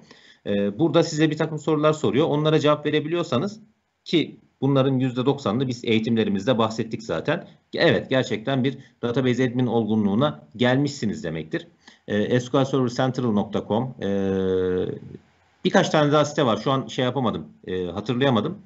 E, bir de işte sertifikasyon, Microsoft'un e, sertifikasyon sınavlarına baksınlar. Onların çıkmış sorularına baksınlar. O sorulara cevap verebiliyorsa evet bu sorunun cevabı e, doğrudur. Sen artık bir database admin olma noktasındasın diyebilir kendisine. Evet. Teşekkür ederim hocam. Sağ olun. Rica ee, ederim. Telaffuzunu bilmiyorum. Bir arkadaşımız sormuş Levent Beyler. Ömer Hoca Ömer Hoca'ya soruyorum. LinQ ile TSQL arasındaki farklar nelerdir? Aslında hani LinQ ile TSQL oradaki söylenen şey aslında RAW SQL yazmak ile Entity Framework üzerinden işte e, LinQ üzerinden yazmak arasındaki fark nedir diye soruyor belki arkadaşımız. Bunun avantajı var, dezavantajı var. Şimdi son dönemdeki yazılım teknolojilerine baktığımız zaman e, insanları biraz böyle veri tabanından uzaklaştırıyorlar. Yani sen kod ortamında yaz, kendi nesnelerinle bu kodunu yaz. Arka tarafta bunların SQL kodunu ben otomatik generate ederim. Bu programcı için güzel bir şey. SQL bilmesine çok fazla gerek kalmıyor ve kod tamamen object oriented şekilde yazılıyor. Dolayısıyla bu aslında güzel bir şey ve trend de bu tarafa doğru gidiyor. Fakat bunun bir dezavantajı var. Geçenlerde bir yerde başıma geldi. Ee, örnek olsun diye buradaki arkadaşların hepsi teknik olduğu için bu, ben bu şekilde teknik konuşmakta şey görmüyorum, mahsur görmüyorum. Şimdi bir web sayfası var ve bu web sayfasının içerisinde Entity Framework ile yazılmış bir web sayfası. E, fakat yeterince optimize edilmemiş. Bir sayfanın açılması yaklaşık 30-35 saniye sürüyor. Arka tarafta neden bu kadar uzun sürüyor diye baktığımızda e, bir tane bir dashboard ekranı var ve bu dashboard ekranında işte kaç tane sipariş alındığının bilgisini gösteriyor. Ve orada da diyor ki işte 100 bin tane sipariş geldi. Bu 100 bin tane siparişi arka tarafta Entity Framework üzerinden çalıştırırken doğrudan bunun count'unu aldırmış. Yani sistem gidiyor 100 bin satırı çekiyor. 100 bin satırı çektikten sonra döngüyle onun üzerinden bu 100 bin satırı sayıyor ve ekrana diyor ki işte şey 100 e, bin tane sipariş var. Şimdi bunu optimize etmeden doğrudan böyle yazdığın zaman SQL'deki bunun karşılığının ne olduğunu bilmeden yazdığın zaman karşına böyle bir şey çıkıyor. Fakat bunu Raw SQL'de yazmış olsan bunun bir tane komutu var işte select count yıldız from siparişler dediğin zaman milisaniye mertebesinde gelecek bir şey. Ki o noktaya getirdik 35 saniyede açılan sayfa işte bir saniyenin altında açılmaya başladı. Dolayısıyla burada e, Entity Framework, LinkU bunlar güncel teknolojiler doğru ama arka tarafta e, kontrol tamamen onun elinde olduğu için bize farklı noktalarda farklı goller atabiliyor. O yüzden e, ikisine de hakim olmakta fayda var. E, yani bilmiyorum soruya cevap oldu mu? Linkü ile TSQL'in farkı nedir? Orada biraz soru da aslında şey e, tam olarak amacı o değil ama e, sanki cevabı doğru cevabı bu oldu gibi. Evet teşekkür ederiz hocam. Ağzınıza sağlık. Hocam iki sorum daha var. Veri tabanında code first mü Yoksa database first mü yaklaşımını tercih ediyorsunuz ve nedenini belirtir misiniz demiş. Bu sorunun aslında e, şey e, ben değilim, muhatabı ben değilim. Bunu kodur arkadaşlara sormak lazım. Belki işte Engin buna cevap verebilir. E, tamam. Yani çünkü database'cinin işi değil bu, yazılımcının işi. Tamam hocam. Bir de hocam bir arkadaşımız şimdi soruyu bulamıyorum da veriyi nereden bulacağız demiş. Nereden bulacak arkadaşlar hocam veriyi? Veriyi nereden bulacaklar? Çok güzel. Ee, bir kere şey, e, Kaggle'ı mutlaka ve mutlaka kullanmalarını tavsiye ederim. Bakın bu sadece veri tabanı ile ilgilenen arkadaşlar için söylemiyorum bunu. Veri bilimiyle uğraşan arkadaşlar için. İşte e, herhangi bir e, yazılım geliştiren, işte burada yaptığımız e-ticaret uygulaması gibi yazılım geliştiren arkadaşlar için her yerde veri şart. Onun dışında deneme bir ürünü, deneme bir kategorisi bilmem ne bunun ötesine geçmiyor. Bir de şöyle bir dünya var. Sizin bir gerçek dünyada baktığınız zaman bir hepsi buradaya baktığınız zaman 4 milyon 5 milyon tane ürünü var. Bilmem kaç milyon tane müşterisi var. Transaction aradaki transaction'ı saymıyorum bile. Gerçek dünyada böyle denemeler 10 satırlar, 40 satırlar, 50 satırlar yok. Dolayısıyla siz bir proje geliştirdiğiniz zaman mutlaka ve mutlaka onu büyük veri setleriyle test etmeniz lazım. Hocam büyük veri setlerini nereden bulacağız? Bir, Kaggle. İki, daha da önemlisi kendi veri setlerinizi generate etme yeteneğini bir şekilde elde ederseniz çok rahat edersiniz. Bununla alakalı benim e, YouTube kanalımda bir şey var, video var. Bunu çekmiştim ben. Ki ben kendi veri setlerimi kendim generate ediyorum, kendim oluşturuyorum. Tamamen rastgele isimler, rastgele ürünler, rastgele satışlar vesaire. Bunu nasıl yaptığıma dair YouTube kanalımda bir video var. E, Kaggle'da çok güzel veri setleri var. Buraları mutlaka ve mutlaka takip etsinler ve e, üstüne basa basa söylüyorum. Jenerik de olsa yaptıkları her işi 50 satırlık 100 satırlık verilerle değil 500 bin satırlık 1 milyon satırlık yapabildikleri kadar büyük veri setleriyle test etsinler ki o zaman işte ortaya çıkıyor. Ana sayfa iyi optimize edilmezse birinde bir saniyede geliyor ötekinde 100 saniyede geliyor. Evet teşekkür ederiz hocam ağzınıza sağlık. Şimdi burada ben de müdahale etmek istiyorum. Yer yer yayınımız 400 kişiyi geçiyor ama bakıyorum ki beğeni bölümü şu anda 29. Arkadaşlar bu iş olmamış. Şimdi öncelikle onu söyleyeyim. Hemen şu beğeniyi izleyici sayımıza getirelim arkadaşlar. Sizden ricamız. Ee, hakikaten Şampiyonlar Ligi şu anda bu kadro. Ee, benim de epey zamandır beklediğim bir gün. O sebeple unuttuk muhtemelen ama orayı atlamayalım. Kerem haks haksızlık etme. 229 229 sayfayı refresh et bir.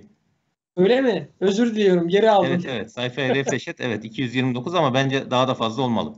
Evet 400'ün altında kalmamalı.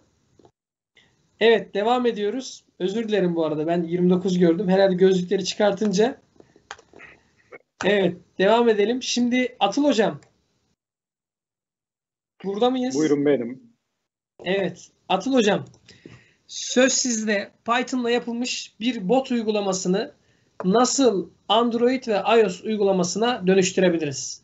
Enes Cerrahoğlu sormuşlar. Selamlar.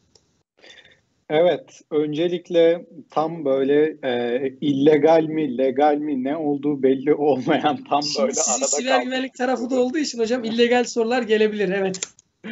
Aynen. Öncelikle şöyle arkadaşlar yani genel olarak cevaplamaya çalışayım çok farklı taraflara çekmeden. Yani herhangi bir bot, botun tanımını e, otomatik olarak iş yapan bir kod olarak tanımlayalım. Genelde bu tarz şeyleri mobil client üstünde çalıştırmak istemeyiz. Genelde bunları server tarafında çalıştırmak isteriz. E, zira bu e, genel olarak işte e-ticaret örneğimizde de öyledir. Yani e, gerçekten e, devamlı yapılacak bir iş varsa e, telefona bağlı kalan değil de tamamen cloud'da çalışan ya da sunucuda çalışan kodlar yazmak isteriz. O yüzden e, bot veya herhangi bir sunucuda çalışan kodla iletişimin yine API'ler aracılığıyla mobil tarafa aktarılması ve o şekilde tetiklenip o şekilde cevapların alınması en doğru yöntem olacaktır. Bunun için onu söyleyebilirim. Yani botun yeri e, client değil, botun yeri server. Evet, teşekkür ederiz hocam. Ağzınıza sağlık. Hocam bırakmıyoruz. Bir soru daha yönelteceğim. Kariyerimi pen test üzerine devam ettirmek istiyorum. CTF'lere katılabilecek düzeydeyim. Uzmanlaşmak için nasıl bir yol izlemeliyim? Evet, e, bence zaten şey gayet güzel bir soru. Hani e, ya CTF'lere katılabilecek, CTF'leri çözebilir bir yere geldiysen doğru yoldasın diyebiliriz arkadaşımıza. E, bundan sonra bol bol CTF çözmek lazım. Şu an mesela yine Cumhurbaşkanlığı Dijital Dönüşüm Ofisi'nin e, 30 Haziran'da son başvuru tarihi olan Hack İstanbul yarışması var. E, oraya kesinlikle katılmanı tavsiye ederiz. E, buraya takımlar halinde hatta katılmanı tavsiye ederiz. Böylece e, hani tek başına katılınca e, zaten bilgi eksikliği vesaire de olabiliyor. Yani takım içerisinde herkes e, birbirinin bilgisini tamamlayabiliyor ama daha da önemlisi motivasyon. Yani sadece bu yarışma değil bir ton hackathon var, bir ton farklı CTF var, e, katılabilecek yerler var. Buralara bir grup halinde katılmak çok büyük bir motivasyon olacaktır. Bu süreçler boyunca e, siber güvenliğin özellikle hangi alanına ilgi duyduğunu keşfetmek ve o alana derinleşip ilerlemek iyi olur. E, şey olmasına çok gerek yok arkadaşlar onu net söyleyeyim. Ya yani üniversiteden daha mezun olmadan ben siber güvenliğin şu alanını seçtim ve bu alanda uzmanım demeye çok gerek yok. Çünkü e, iş dünyasında daha bu alanların nasıl olduğunu görmüş olmayabilirsiniz. İşte staj yaparak bunları e, deneyimleyebilirsiniz. E, ve biraz da yılların, tecrübelerin getirdiği bilgilerle o alanda uzmanlaşma olduğu için e, üniversitede e, belli bir uzmanlık yoluna gitmek yerine gerçekten hangi alanda uzmanlaşmak istediğinizi seçmeye çalışmak ve e, genel olarak siber güvenlik konusundaki bütün bilgilerinizi iyi bir seviyeye getirmek e, iyi olacaktır. Aslında CTF'lerin amacı da bu. Her CTF'de yeni bir şey öğreniyorsunuz, yeni bir e, yetenek kazanıyorsunuz ve hepsi ayrı alanlara muhtemelen hizmet ediyor. E, hangisi hoşunuza giderse ondan devam edebilirsiniz.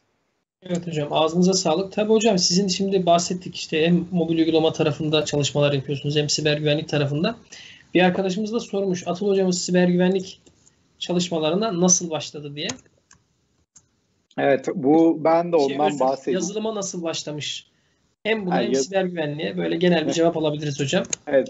Aslında tabii ki ben de hep söylüyorum esasen hani yazılımcı e, kimliğim ön planda. Hani profesyonel olarak ben yazılım yapıp para kazanıyorum arkadaşlar. Birçok projede hem kendi yazdığım hem e, işte danışmanlık verdiğim, dahil olduğum bir ton proje var.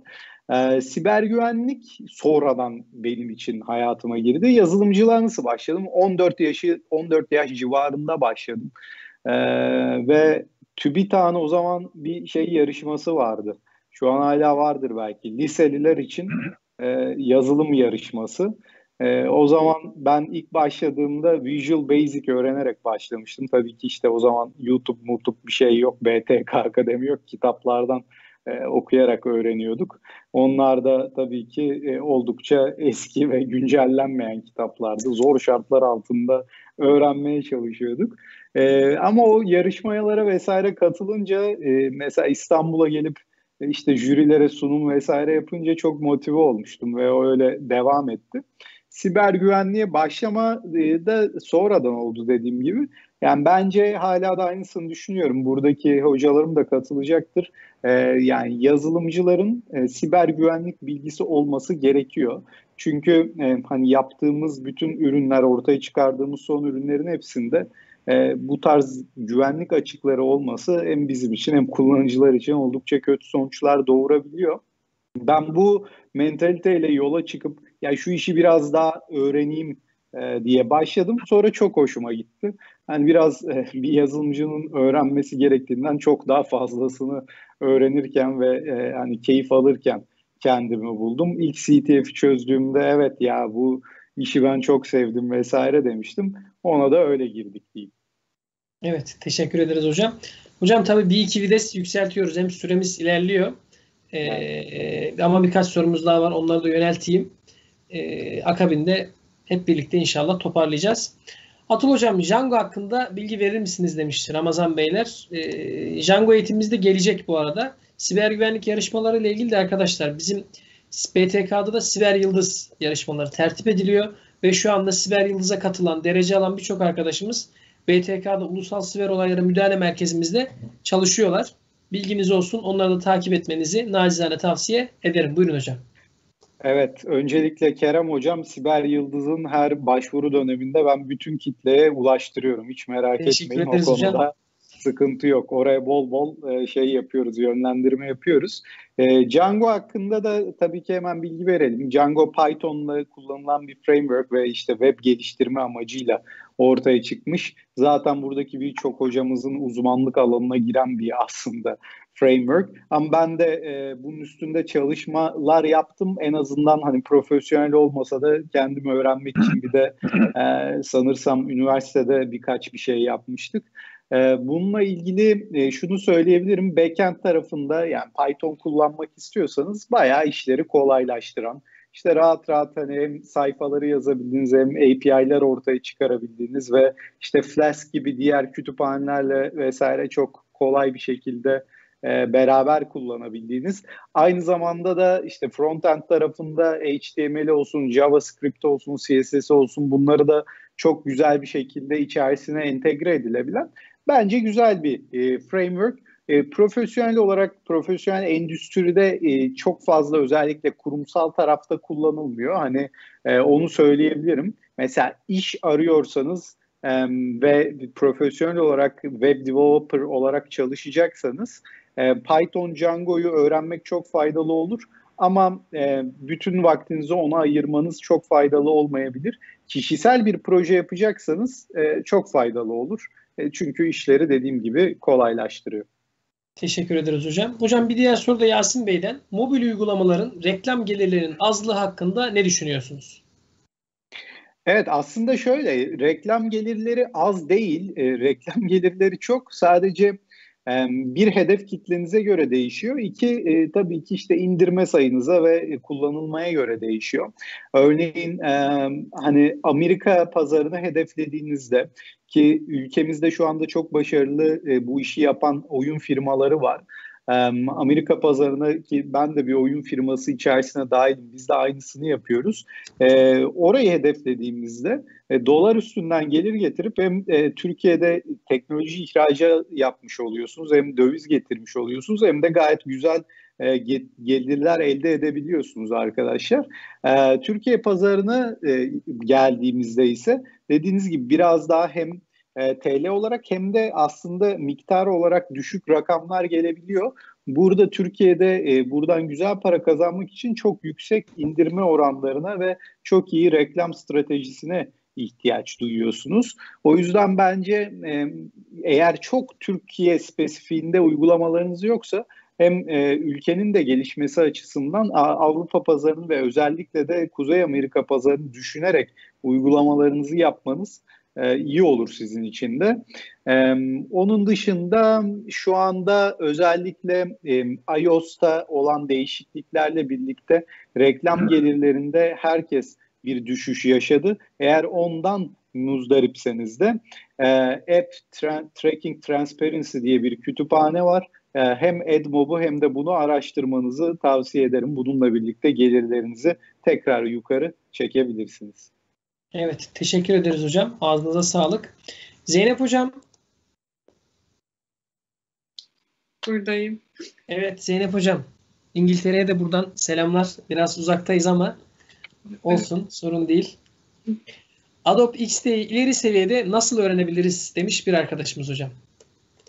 Aslında bununla ilgili birçok eğitim var. Onları izleyebilirler. Ee, Udemy'de de eğitimleri var veya YouTube üzerinden ücretsiz olarak da bulabilirler. Ee, aslında çok kolay bir şekilde de öğrenebilirler. Yani eğer birazcık tasarımla ilgiliyse arkadaşlarımız yani iki saat içerisinde bu tool'u öğrenebilirler bile. Evet, teşekkür ederiz hocam. Şimdi Siber Yıldız'la ilgili arkadaşlar duyuruyu tekrar etmemizi rica etmişler. Siber Yıldız arkadaşlar yılın belli dönemlerinde BTK tarafından tertip edilen bir e, CTF yarışması. Tabi biz burada e, derece alan arkadaşlarımızı da tabi hususen takip ediyoruz. Hali hazırda söylediğim gibi hani böyle bir taahhüt yok ama başarılı olup da orada dereceye girip de şu anda BTK'da birlikte çalıştığımız çok arkadaşımız var. Bilginiz olsun muhakkak takip edin derim. Ee, Zeynep Hocam tekrardan sizdeyiz. Ee, UI UX tasarımını başlangıçta mı yapmalıyız yoksa ihtiyaca göre projeye yayarak mı yapmalıyız? Buyurunuz hocam. Yani e, UI UX kendi başına bir süreç zaten ve e, ne kadar erken safhada projenin erken, ne kadar erken safhasında e, hayata geçirebilirsek o kadar iyi. E, araştırmalar yaparak aslında ürünleri yapmamız gerekiyor. Bu yüzden çok önemli. Tabii ki de sonradan da ürünü geliştirebiliriz. Ama ilk başta olması tercihimiz. Çünkü daha düzgün ürünler ortaya çıksın, daha çalışır ürünler ortaya çıksın istiyoruz. E, bu yüzden ilk safhada olması daha önemli. Teşekkür ederiz hocam. Ağzınıza sağlık. Şimdi bir sorumuz daha var hocam. Ee, kaçırmayayım. Şurada görmüştüm. Bir saniye. Değerli arkadaşlar kusura bakmayın atladım. Figma öneriyor musunuz diye bir arkadaşımız sormuş. Evet öneriyorum. Figma kesinlikle kullanmalısınız. Yani en azından bir e, kurcalamış olursunuz. E, dediğim gibi çok hızlı tasarımlar yapabiliyorsunuz. Çok güzel pluginleri var. Hem e, farklı bir tool görmüş olursunuz hem de e, bu elinizi geliştirmiş olur. Bu yüzden Figma kullanabilirsiniz. Aynı zamanda Sketch ve XD'ye de bakabilirsiniz. Bu üç tool çok fazla kullanılıyor. Evet, teşekkür ederiz hocam. Ağzınıza sağlık. Şimdi Talha hocam size birkaç sorum olacak. Şimdi bize bir soru gelmiş. .NET Core eğitimini gelecek mi diye. Arkadaşlar yine sosyal medya hesaplarımızdan yöneltebilirsiniz. Sizden gelen talepler çok önemli. Bunu bilin istiyorum. Çünkü eğer bir eğitim çok fazla isteniyorsa biz tabii birçok kariyer rehberimizdeki eğitimlerin tedariği noktasında çalışıyoruz ama hem e, olmazsa olmaz eğitimler birinci öncelik sıramız, ikinci öncelik sıramız ise e, sizden gelen talepler. Zeynep Hocam bırakmadan bir soru daha soralım. Batuhan Beyler sormuşlar. Hı hı. Tasarımlarını beğenip takip ettiğiniz birileri var mıdır UI UX için? Ee, yani spesifik olarak bir isim söyleyemeyeceğim şu an. Ama e, Dribble, Behance o tarz kaynaklardan bulabilirler onlar da, takip edebilirler. Özellikle işte nasıl bir proje yapıyorlarsa atıyorum e-ticaret. E, onun ismiyle aratırlarsa bir sürü projeler e, öne çıkar. E, yani öyle spesifik olarak bir isim veremeyeceğim şu an. Tamamdır hocam. Teşekkür ederiz. İnşallah Zeynep hocamı takip edebilirsiniz arkadaşlar. Eğit eğitimi de bize sordular. İnşallah Zeynep hocamın eğitimi de UI UX eğitimi BTK'ya gelecek. Evet Talha hocam abi sendeyiz. Evet Kerem selamlar. Selamlar. Epey sorumuz var. Hemen hızlıca yöneltiyorum. Hızlıca evet cevaplayalım hızlı hızlı. Evet. Büyük veri teknolojilerinde Python mu yoksa Java mı daha çok kullanılıyor? Büyük veri mühendisi olmak için ikisini de bilmek gerekir mi? Bunu hemen cevaplayacağım Ömer ama e, pardon e, Kerem ama ondan önce Ömer hocamın az önce bahsettiği Ömer hocama gelen bir soru vardı. Biraz kendisi evet. bahsetti. E, veri setlerini nereden bulacağız diye bir soru vardı. Veri setlerine nasıl ulaşacağız diye.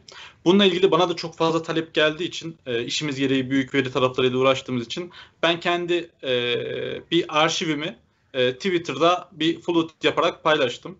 E, yaklaşık 42 farklı siteden 42 farklı konuyu bulabilecekleri bir flood var. E, çok da e, beğenildi. Yani güzel yorumlar aldık. Toplam 700-750 bin kişiye ulaştı. Eğer hala e, ulaşmamış arkadaşlar varsa oradan takip ederek web sitelerine ulaşabilirler. 42 tane farklı e, veri seti platformu var. Diyelim soruya geçelim hemen. E, büyük veri taraflarında e, genelde Python, Java ve Scala dilleri ve R dilleri e, tercih ediliyor. E, bunların olmasının sebebi açıkçası bu dillerin biraz daha e, Java biraz katmazsak Python ve Scala tarafında functional programming dediğimiz aslında biraz daha farklı bir program yazma teknolojilerini e, güdü, güdüsü e, içinde olduğundan dolayı biraz da tabii ki çok fazla bir kütüphane desteği var arka tarafta. E, tüm teknoloji şirketleri bu e, hem sentaks kolay olan hem de functional programming anlamında kolay yazılan e, bu programlama dillerini tercih ediyorlar. Açıkçası ben eğitimlerde de bundan çok bahsediyorum. Bir programlama diline bağlı kalmayı ben doğru bulmuyorum. Yani sadece Python bilmek ve sadece Python ile ilgili e, büyük veri organizasyonları, büyük veri projeleri geliştirmek bence bu doğru değil. E, o teknolojinin, büyük veri teknolojisinin mesela derste biz ne yapıyoruz? Spark'ı, Hadoop'u, MongoDB vesaire bunları anlatıyoruz. Onun mimarisini, neye çözüm ürettiğini, niye ortaya çıktığını, alternatifi nedir e, bunları daha iyi öğrenerek, öğrenerek, mimarisini, kurulumunu bunları daha iyi öğrenerek daha sonrasında kod yazma kısmında zaten sentaks değişiyor. Bazen Java'da yazarsın, dokümantasyonu açarsın. Bazen Python'da yazarsın. Sen e, hangi bir de mesela bazı bazen şirketlerde de değişiyor Kerem. Hani e, senin elinde olmuyor. Başka şirkete geçiyorsun Python yazıyor. Diğer şirkete geçiyorsun Scala yazıyor. Ama evet. nasıl adapte oluyoruz? E, temel programlama bilgisini bildiğimiz için hep o, hem object oriented hem functional programming bilgisi bildiğimiz için sadece syntax değişiyor. Yarın başka bir dilde çıkabilir. X diye başka bir dilde çıkabilir. O dile kolay bir şekilde kendin geçebiliyor olman lazım. Çünkü sen temel programlama bilgisi bildiğin için. Sonrasında üzerine büyük veri de koyabilirsin. Farklı bir işte e, data scientist olabilirsin. E, orası değişir. Ama ben dil bağımsız olmayı e, bugün Python yazarım, yarın Java yazarım, sonra Scala yazarım. E, bunu ben daha doğru buluyorum ve derslerde buna göre anlatmaya çalışıyorum. Evet abi teşekkür ederiz. Ağzına sağlık. Bırakmıyoruz. Sizce Aha. yapay zekanın bilinç kazanmasının bir yolu var mı? Bunu yazılımsal olarak açıklayabilir misiniz? Nasıl bir kod ile oluşturulur demiş Sinem Hanım. Buyurun hocam. As, e, aslında bunun şey olarak e, literatürde bir adı var. Artificial, e, artificial Consciousness, Consciousness diye geçiyor. Intelligence'ın bir e, farklı versiyonu diyebiliriz buna. E, yani bunu şu an tabii ki kod ile açıklamak çok mümkün değil ama son zamanlardaki zaten bu e, yapay zekanın nedir? Bir kendi kendine öğrenme dürtüsü olması lazım. Yani machine learning'den en büyük farkı zaten e, insan beyninden e, örneklenerek açıklanabiliyor zaten. Kendi kendine öğrenme dürtüsünün olması. Bu zaten hani e, beklediğimiz bir şey. E, bunun kodla ilgili şu anda tabii ki böyle bir kodla şu, şu şekilde yazılır ya da şöyle yazılır gibi e, açıklamak mümkün değil ama bununla ilgili algoritmalar, e, şeyler, e, kütüphaneler ve e, modeller oluşturabiliyoruz. Teşekkür ederiz hocam. Bir diğer soru şöyle. Veri mühendisliği ve veri bilimciliğinin farklarına değinebilir misiniz? Ben bilgisayar mühendisliği okuyorum ama hangi meslek benim bölümüme daha yakın bilmiyorum. Bunu aslında bir Eymen Hanım'ın da bir sorusu var. Eymen Bey'in bilemiyorum. E, veri madenciliği alanınız mı bilmiyorum ama alanınız ise biraz bilgi verir misiniz demiş. Veri madenciliği. Bu aslında bu çemberi şöyle senden bir dinleyelim abi. Tamam abi. Ee, şöyle birinci soru çok fazla geliyor zaten bize de. Data scientist ve data engineer farkı nedir? Ee, ya da hangisini olmam lazım? E, açıkçası bu senin bölümünle alakalı bir hani şey değil. O yakın, bu uzak diyemeyiz buna. Bu sen senin hangisinde daha faydalı, hangisinde daha zevkli çalışabildiğinle alakalı. Hangisinde kendini daha rahat hissediyorsun, hangisi senin hoşuna gidiyor, seni çekiyor. Bununla alakalı. Biz şirkette hem data scientist arkadaşlarla beraber çalışıyoruz, hem e, data engineer arkadaşlarla çalışıyoruz. Açıkçası ben de bir hani data engineer sınıfına giriyorum. Ben aslında big data engineer'im ama data engineer sınıfına giriyorum aslında. Biz e, data scientist arkadaşlarla birlikte çalışıyoruz. Onlar ne yapıyor? Onlar genelde e, bir sorunu, problemi e, machine learning ya da e, veri bilimi e, teknolojileriyle, kütüphaneleriyle modelliyorlar ve bundan bir sonuç çıkartıyorlar. E, biz ise onlara o datayı sağlamaktan sorumlu oluyoruz. Yani O bana datanın ihtiyacını söylüyor. Eğer o bir semi-structure data olabilir, hacimsel olarak büyük bir veri olabilir. Ee, eğer böyle bir şeyse onun modelini ben kendi teknolojilerimde, büyük veri teknolojilerinde çalıştırıyorum. Birlikte yan yana çalışıyorsun. O e, daha küçük ölçekli verilerde doğru modeli çıkartmaya çalışıyor, doğru analizi yapmaya çalışıyor. E, hacimsel olarak verilerde bunun işlenmesi kısmında ise biz görev alıyoruz. E, ona eğer bir veri ihtiyacı olursa e, onu da biz sağlıyoruz. E, veri transformundan da, veri aktarımından da e, yine biz sorumlu oluyoruz. E, açıkçası data science tarafında biz biraz alt küme olarak görüyoruz. Yani bizim altımızda olarak görüyoruz. Data engineer olanlar data science özelliklerini genelde e, kapsayabiliyorlar. Ama bir data scientist bir data engineer işini yapamıyor. Bu tamamen arkadaşımızın e, nerede uzmanlaşmak istediği, hangisinin çektiğiyle alakalı. E, ona göre kolaylıkla karar verebilir diye düşünüyorum. Evet, teşekkür ederiz hocam. Bırakmadan Westworld dizi biliyor musunuz hocam? Westworld dizi. Hayır, onu bilmiyorum. Tamam. Ee, böyle bir soru geldi. Ee, Bakalım. hazır sizdeyken yönelteyim dedim. Abi teşekkür ederiz. Ağzına yüreğine sağlık. Teşekkürler Kenan her zaman. Sağ olun. Şimdi Celil hocam size birkaç soru yöneltmek isterim. Celil hocam. Dinliyorum. Sesim geliyor mu? Evet şu anda duyuyoruz hocam. Hocam SEO'nun Türkiye piyasasında yeri nedir? Lokal search yapılabilen büyük API'ler üzerinde ihtiyaç var mı? Yoksa sadece büyük arama motorları üzerine mi çalışmalıyız? Sondan başlayayım. E, Google bu piyasada e, teker ve lider konumda. Yani o yüzden e, Google hariç farklı bir arama motoruna yatırım yapmak çok hata olur. Aslında Google uyumlu yaptığınızda siteleriniz diğer arama motorlarında uyumlu oluyor. Ama bir Çin lokasyonu için Baidu var mesela. 1 milyardan fazla bir nüfusa sahip. Eğer bir Çin lokasyonu hedefliyorsanız burada Google'ı es geçmeniz gerekebilir.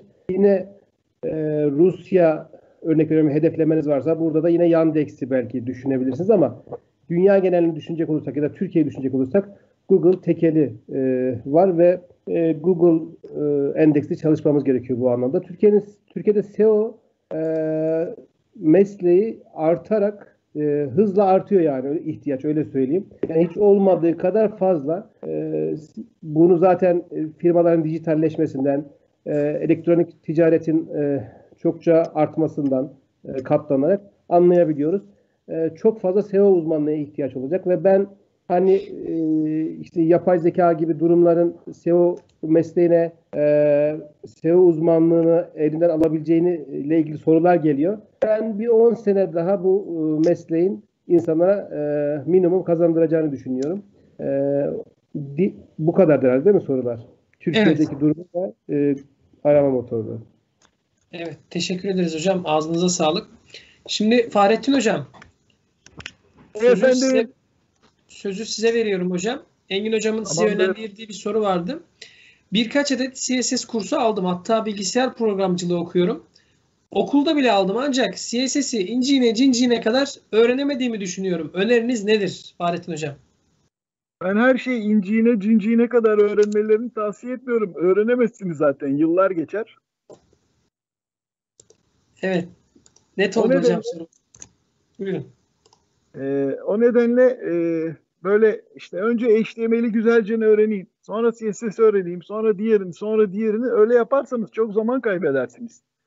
Ee, bence temel orta orta üst düzeyde öğrenip e, bir de HTML ya da CSS tek başına kullanılan teknolojiler değil. HTML'de CSS'i JavaScript ile beraber, C Sharp, ASP MVC ile beraber, SQL ile beraber, Entity Framework ile beraber kullanmanız gerekecek. Yani bütün bu kodları hepsini bir araya koyup çorba gibi bir şey yapmanız gerekecek. O nedenle e, hani bir teknolojiyi çok iyi öğreneyim sonra diğerine geçeyim bence çok fazla zaman alır diye düşünüyorum. Yani belli bir düzey HTML, sonra belli bir düzey CSS. İşte atıyorum CSS bazı CSS kütüphaneleri olabilir. Bootstrap çok kullanılıyor. JavaScript kütüphaneleri, JavaScript ve jQuery gibi bazı kütüphaneler. Ondan sonra C Sharp, MVC, Entity Framework, SQL Server. Bunların hepsini bir arada kullanarak bir uygulama geliştirebiliyorsunuz. Yani sadece CSS, çok iyi düzeyde CSS yıllar alır zaten de çok uzun zaman alır ama hani sadece CSS'i öğreneyim ne yapabilirsiniz? WordPress'e temalar yapabilirsiniz. O şekilde para kazanabilirsiniz ama orada da gene bir sürü işte PHP, JavaScript, jQuery gibi bir sürü kütüphane öğrenmeniz gerekiyor. Benim tavsiyem ee, HTML orta orta üstü düzey, CSS orta üstü düzey, e, ondan sonra Bootstrap, jQuery ve diğer ilgili kütüphaneler e, herhangi bir programlama dili artık hangisini kullanacaksanız C Sharp olur, Python olur ya da Java olur. E, işte veri tabanı bunların hepsini belli bir düzeyde bilip hepsini beraber kullanmak daha faydalı bence. Evet, teşekkür ederiz hocam. E, ağzınıza sağlık. Şimdi ekranda bir donma söz konusu sanırım. E, Benim ekranda mı? Evet hocam, kamera açısıyla ilgili. O sorun düzelene kadar şöyle ben hocam birkaç soru da Engin hocama yönelteceğim. Sonra tekrardan sizinle devam edeceğiz. Engin hocam. Evet. Sorumuz şu. Ali Şahin Beyler sormuş. Bilgisayar mühendisliği dışında farklı bir bölümde okuyup yazılım sektöründe çalışmak isteyenlere ne önerirsiniz? Sektörde yazılım kökenli olmayanlara sektörün bakışı nasıl? Ee, ya şöyle e, Kerem, bunu kendi programlarımda da hep söylüyorum. BTK Akademi ile daha önce yaptığımız e, programlarda da söyledim. E, aslında sorular hep birbirinin aynısı açıkçası. E, buna kısaca geçeyim çünkü belki bugün bile aynı şeyleri üç kere geçtim ben. E, yani bu sektörde çalışıp da ben karşılığını alan, e, almayan kimseyi görmedim. O yüzden hangi bölümden mezun olursanız olun, GitHub'ınız güçlüyse, neler yaptığınızı orada iyi gösterebiliyorsanız, emin olun mutlaka birileri sizinle ilgilenecektir. Bunu söyleyebilirim. Ama üniversitenin tabii ki avantajları var. Yani örneğin isim verecek olursak Türksel. Onların bir İK prosedürü var. Ee, onlar işe alımlarda belli bölümleri tercih ediyor olabilirler. Ediyorlar da. Yani siz ne kadar iyi bilirseniz bilin çok özel bir durum yoksa sizi işe almıyorlar. Ama e, sektörün çoğu e, bu tip şeyleri çok fazla önemsemeyen veya bu tip e, insan kaynakları süreçleri olmayan, zorunlulukları olmayan e, firmalardan oluşuyor. Dolayısıyla kendisini geliştiren bir kişinin ben bu sektörde aç kaldığını görmedim. E, bunu söyleyebilirim. Diğer hocalarım bu noktada e, onlar da fikirlerini söyleyebilirler tabii ki. Ama benim açıkçası tecrübem bu yönde. Evet, teşekkür ederiz hocam. Bırakmıyoruz. Birkaç soru daha yönelteceğim. Kerem, hocam, e, Kerem şey bir sonraki buyurun. soruya geçmeden ben Engin hocama bir katkıda bulunabilir miyim orada? Tabii abi aslında bu şeyi sağlarsak güzel de olur. Buyurun lütfen. Yani orada e, bu soru hepimize de çok geliyor aslında. İşte ya üniversite okumalı mıyım, okumalı okumamalı mıyım? Şimdi üniversiteyi okuyan adam e, şey diyor ya ben 4 yıl işte üniversite okudum. İşte öbür adam da benimle aynı statüde işte gidiyor kurs alıyor. Veya işte e, kendini yetiştiren bir adam ya ben de diyor işte şey aynı işi yapıyorum. Hatta daha iyi yapıyorum ama işte onun diploması var. Şeyi çok yaşanıyor burada. Ben üniversiteyi şu gözle görüyorum aslına bakarsanız. Hani e, Engin hocamın dediği şu çok mantıklı. İşte kurumsal firmalar diplomaya bakıyor. işte belli bir mezuniyet istiyor falan ama. Diğer taraftan ben üniversite okumanın bir avantaj olduğunu düşünüyorum. Neden bir avantaj? Diplomadan dolayı değil. Şimdi özellikle 4 yıllık bir üniversite okuyorsan 4 yıl boyunca sen bir kere 4 yıl insanın kendini geliştirmesi için çok çok iyi bir zaman. Belli bir çevre ediniyorsun. Orada belli bir seninle aynı amaçta olan işte yazılımcı olmak isteyen, bilgisayar mühendisi olmak isteyen neyse bölümüne göre bir toplulukla berabersin. Ve e, proje yapıyorsun, bir şeyler öğreniyorsun ve 4 yıl boyunca kendini geliştiriyorsun. Bu 4 yıl çok kıymetli. Yani e, üniversite okuyan arkadaşlarımızın olaya bu gözle bakmasını ben özellikle söylüyorum. Diploma hiçbir şey arkadaşlar. Yani hele hele şu dönemde bakın bütün her şey online'a döküldü, eğitimler online'a döküldü. Siz artık MIT'nin derslerini oturup oturduğunuz yerden izleyebiliyorsunuz. Ama MIT'nin kampüsünde olmanın verdiği şey değil bu. Dolayısıyla burada bu 4 yıl çok kıymetli. Bu 4 yıla o gözle bakın ve kendinizi geliştirmeye bakın. Ben okula, üniversiteye ilk girdiğimde bizim bir hocamız vardı. E, şu anda Gazi Üniversitesi'nin e, dekanı Şeref Sağroğlu. E, bize şunu söylemişti. Arkadaşlar öğrenmeyi öğrenin. Biz size burada bunu öğreteceğiz diye. O zamanki aklımla, çocuk aklımla ben açıkçası bunu çok yorumlayamamıştım. Ya bu öğrenmeyi öğrenmek ne demek?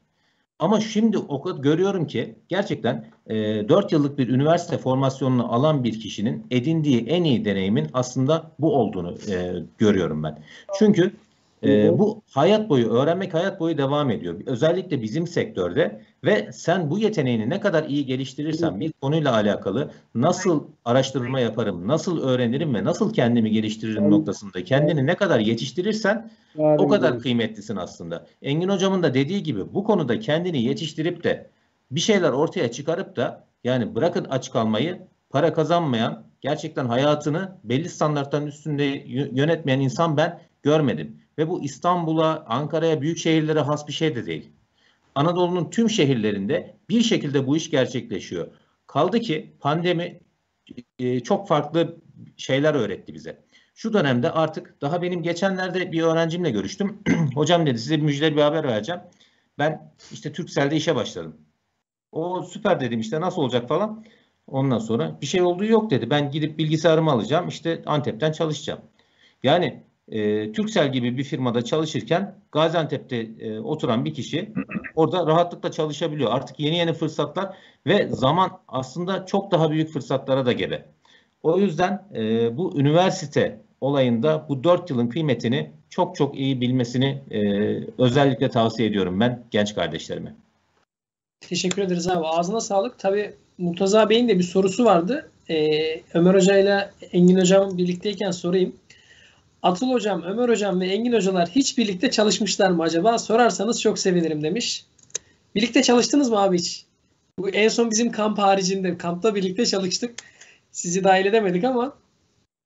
Biz, ee, sen sen cevap ver abi buyur. Ee, Ömer, Ömer Hocam'la biz ilk e, bir etkinlikte yurt dışında tanışmıştık. Orada çok güzel birkaç gün e, vakit geçirmiştik. E, orada da kendisini tanıma fırsatım olmuştu. Ee, ilk kez o şekilde olmuştu ama Atıl Hocam'la daha öncesinde de tanışıyorduk. Fakat beraber proje geliştirmemiştik. Ee, Atıl Hocam'la yakın zamanda e, bir tane kargo firmasının projesinde beraber çalıştık. Güzelce de e, ilk süreci ben başlattım. Yarıya kadar getirdim. E, Atıl Hocam da e, devamını getirdi ama bitti mi bilmiyorum. Atıl Hocam bitti mi o proje? bitti bitti. Ben paramı aldım çünkü. İşte bu süper oldu ya. Aynen. Bitti hocam bitti. Ee, hatasız, sıkıntısız bitti. Bizi de bitiren cümle oldu yani evet. evet. Şimdi e, Engin hocam peki full stack developer başlığı altında çalışan insanlar canlı hayatta şu an 7 hocamın yayınlarındaki konulara hakim olması beklenir mi? Full stack biri hangi başlıkları bilmesi beklenir? E, yani şöyle sektörün e, full stack'ten anladığı e, genellikle backend e, ve frontend tarafının gerçekleştirilmesi genellikle.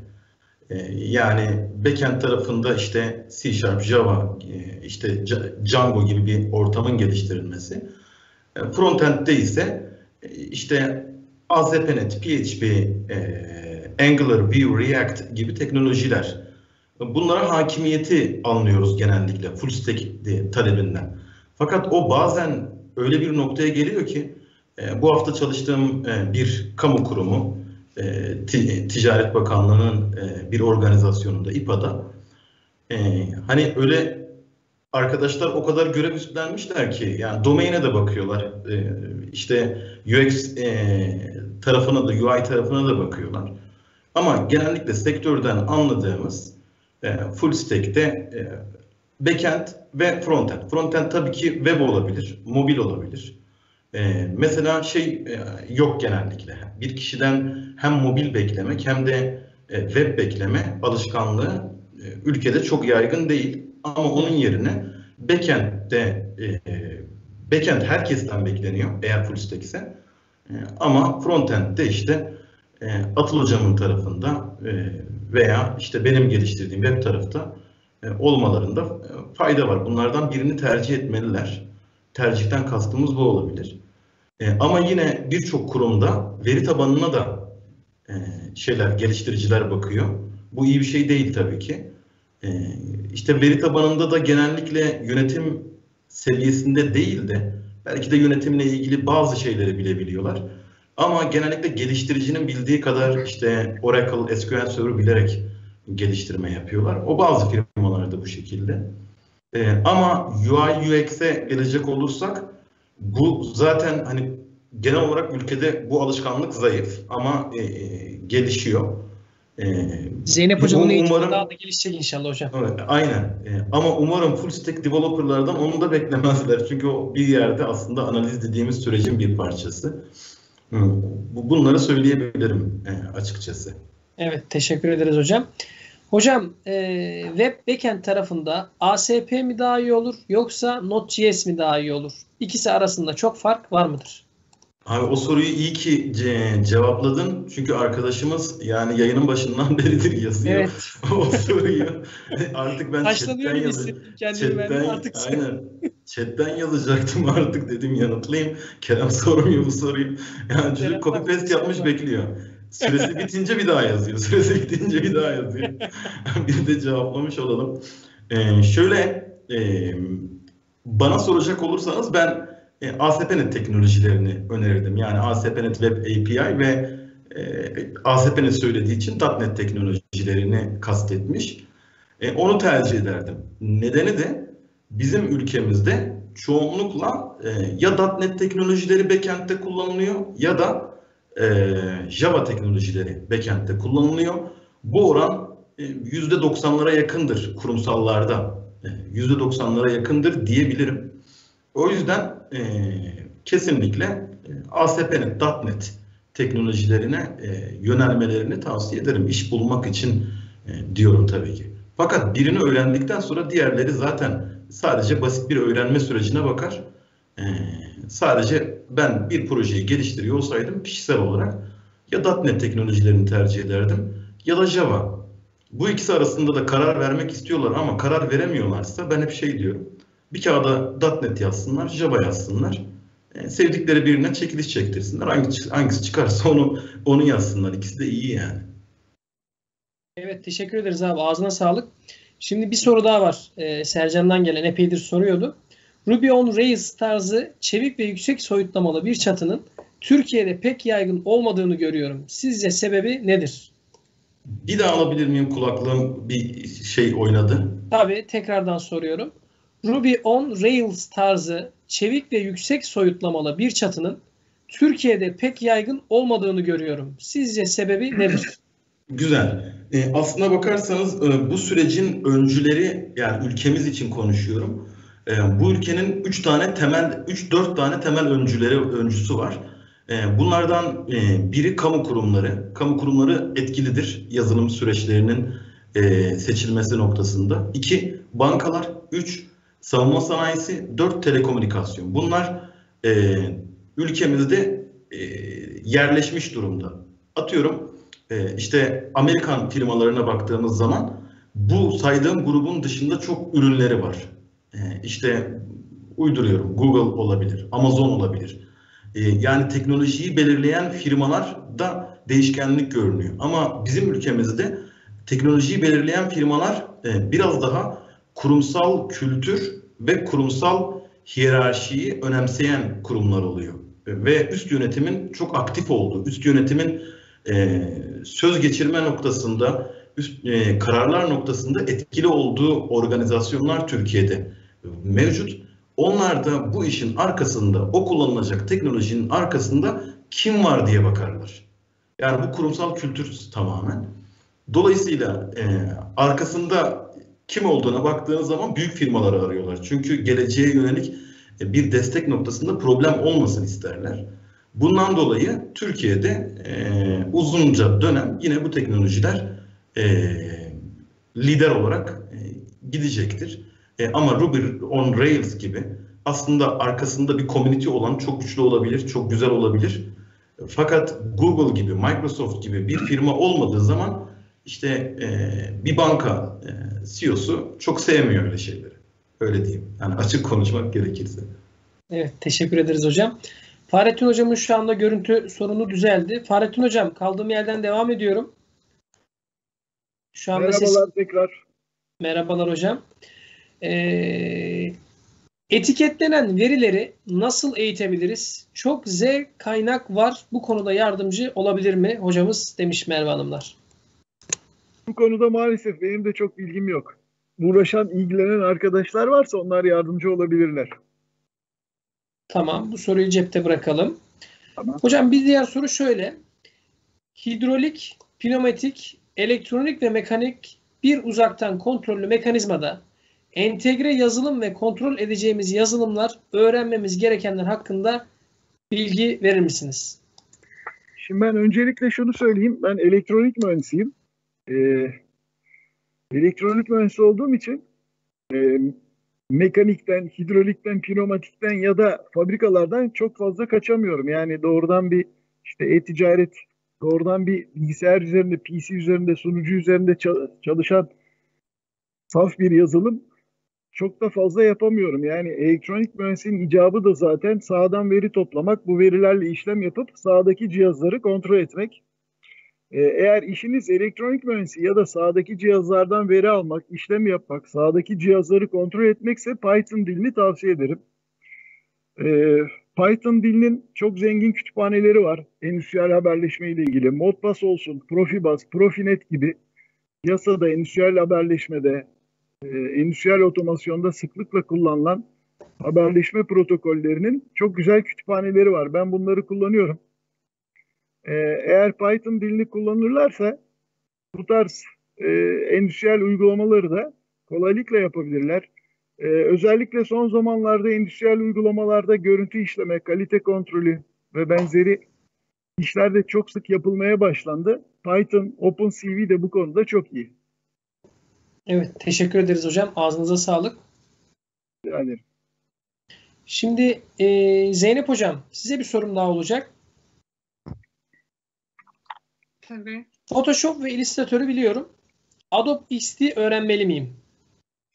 Tabii ki de artık çok fazla Photoshop kullanılmıyor. O yüzden kesinlikle XD öğrenebilirler. Ayrıca Photoshop'u biliyorsa zaten XD'yi çok kolay kullanır. Yani çok da basit gelecektir o kişiye zaten. O yüzden kesinlikle öğrenmedi. Evet, teşekkür ederiz hocam. Şimdi Atıl hocam bu soruyu özellikle size sormak istiyorum. Genellikle işte abi nasılsın diye aradığımda muhteşem diye döndüğün için özellikle bu soruyu sana soruyorum. Şimdi e, hocalara sorar mısınız motivasyonlarını nasıl koruyorlar ve biz motivasyonumuzu korumak için neler yapmalıyız? Evet, mükemmel bir soru. Yani şöyle arkadaşlar, tabii ki kişiden kişiye göre e, motive olma şeyi değişir. Ama ben hep e, işte bu tarz üniversitelerde vesaire yaptığım konuşmalarda e, şeyi söylemeye çalışıyorum. Yani bundan 5 sene, 10 sene, 20 sene, 30 sene sonraki hayallerinize ulaşmanın tek bir yolu var. Yani garantili tek yolu e, çok fazla çalışmak. Ve e, bu çok fazlayı da hatta ben haftada 80 saat olarak genelde e, miktarlaştırıyorum da. Haftada 80 saat oldukça zordur, oldukça fazladır ama gayet de yapılabilir. Neredeyse iki tane mesai yapmak gibidir. Ve burada eğer ki yaptığınız işi sevmiyorsanız zaten 30 saatte çalışmazsınız, 20 saatte çalışmazsınız.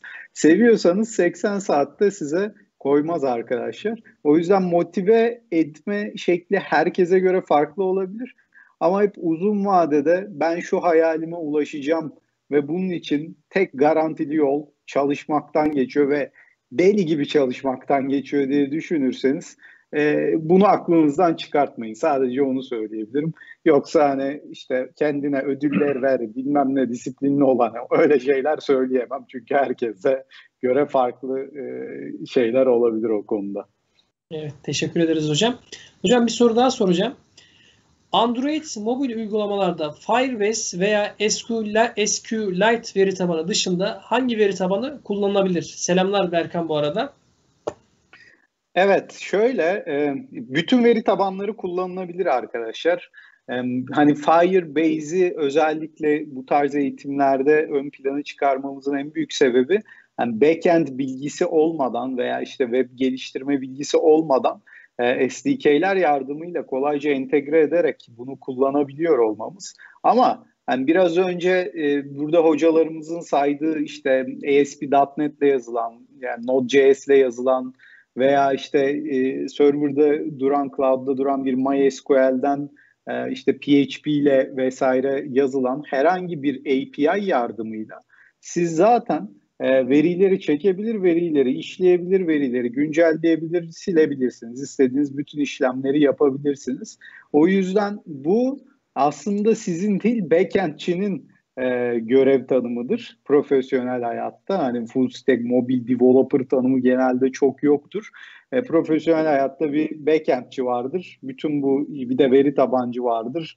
E, ama Türkiye'de hep o iki kişi birleştirilmeye çalışılır. O iki kişi e, veya tek kişi bu şeyi ortaya koyduktan sonra size bir endpoint verir, bir API verir. Siz o API'ler aracılığıyla o e, iletişime geçersiniz veri tabanıyla ve bu işlemleri yaparsınız. O yüzden bütün veri tabanları kullanılabilir mobil geliştirmede.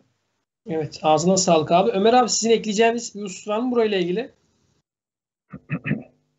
Yok. E, Atıl Hocam gayet güzel açıkladı. E, motivasyon konusuna birazcık e, ekleme yapayım aslında. E, kendinizi nasıl motive ediyorsunuz şeklinde. Söyleyeceğim tek bir şey var. Buradaki arkadaşlarımızın birçoğu belki de tamamı e, hayatında birden fazla işe sahip insanlar. Yani normal devam eden bir hayatı var.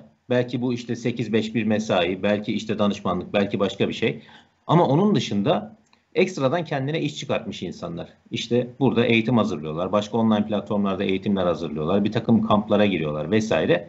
Ee, burada bizi bu noktaya iten şey inanın bu işten kazanılan para pul vesaire değil. O zaten kısa vadede kazanılan bir şey de değil. Yani siz önce bir kendinizi ispat etme süreciniz var, belli bir noktaya gelme süreciniz var. Bunları yapmanız gerekiyor. Ve bizim e, bu noktada bizi motive eden şey bu işi gerçekten seviyor olmamız. Yani anlatmayı, öğretmeyi, paylaşmayı gerçekten seviyor olmamız. Çünkü başkalarının maç izlediği bir dönemde buradaki arkadaşlarımızın birçoğu işte YouTube'da video hazırlıyor. Veya işte başkalarının bir kafeye gittiği, orada kahvesini yudumladığı bir zamanda buradaki arkadaşlarımız oturup makale yazıyor. Bu içten gelen bir şey. Sonuç itibariyle buradaki herkes sevdiği işi yapıyor. Benim arkadaşlara motivasyon noktasında söyleyeceğim şey gerçekten sevdiğiniz, keyif aldığınız şey neyse bunu keşfetmeye bakın. Onun arkası zaten kendiliğinden gelecektir. Evet teşekkür Bu, ederiz hocam. Ağzınıza sağlık. Son bir soru ben de bir şey söylemek istiyorum hocam. Tabii Fahrettin hocam buyurun. Sesimi açayım. Ses geliyor mu şu anda yayında? Tabii hocam sesinizi alıyoruz. Tamamdır. Şimdi şöyle e, ben iş hayatım boyunca bir sürü işte özellikle Ege bölgesinde bir sürü fabrikaya gittim. Fabrikalardaki endüstriyel otomasyon işlerini genelde yabancılar yapıyor. Almanlar, Amerikalılar, İtalyanlar falan. Ben böyle yabancıların kurduğu fabrikaları, yabancıların makinalarını gördükçe kendimden utanıyordum hakikaten. Ya bu makinaları biz niye yapamıyoruz diye. O benim için çok büyük bir motivasyon oldu. Bu, bu tarz makinaları, bu tarz makinaların yazılımlarını biz de yapmalıyız diye çok büyük motivasyon oldu. Ee, özellikle PLC otomasyon, endüstriyel haberleşme, SCADA konusunda bu konuda e, bu işleri öğrenmek için ekstra zaman harcadım. Ve şu anda da görüyorum ki artık e, Almanların, İngilizlerin, Amerikalıların, İtalyanların yaptığı işleri, makinaları biz de yapabiliyoruz.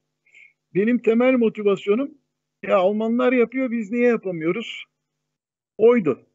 Söylemek istediğim e, uzun lafın kısası başkalarının işte Amerikalıların, İngilizlerin, Çinlilerin yaptığı yazılımları biz de yapabiliriz.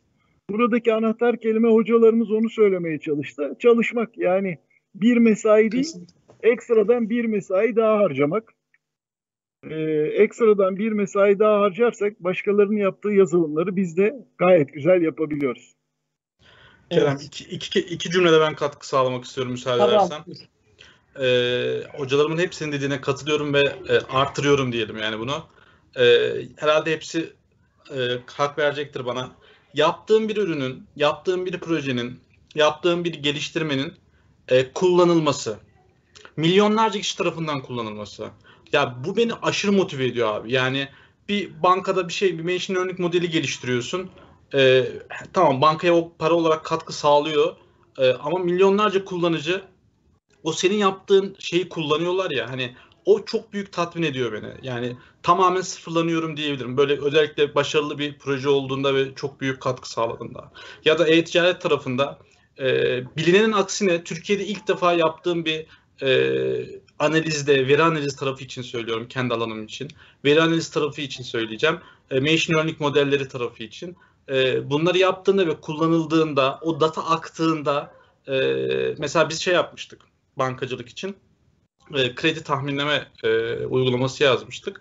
Normal bir personelden daha iyi tahminde bulunuyor. Yani Kerem'in e, Kerem'in biz kere, şeyine kredi tahminlemesini çıkartıyoruz. Normalde bunu işte eksper vari arkadaşlar tahminliyordu bankada.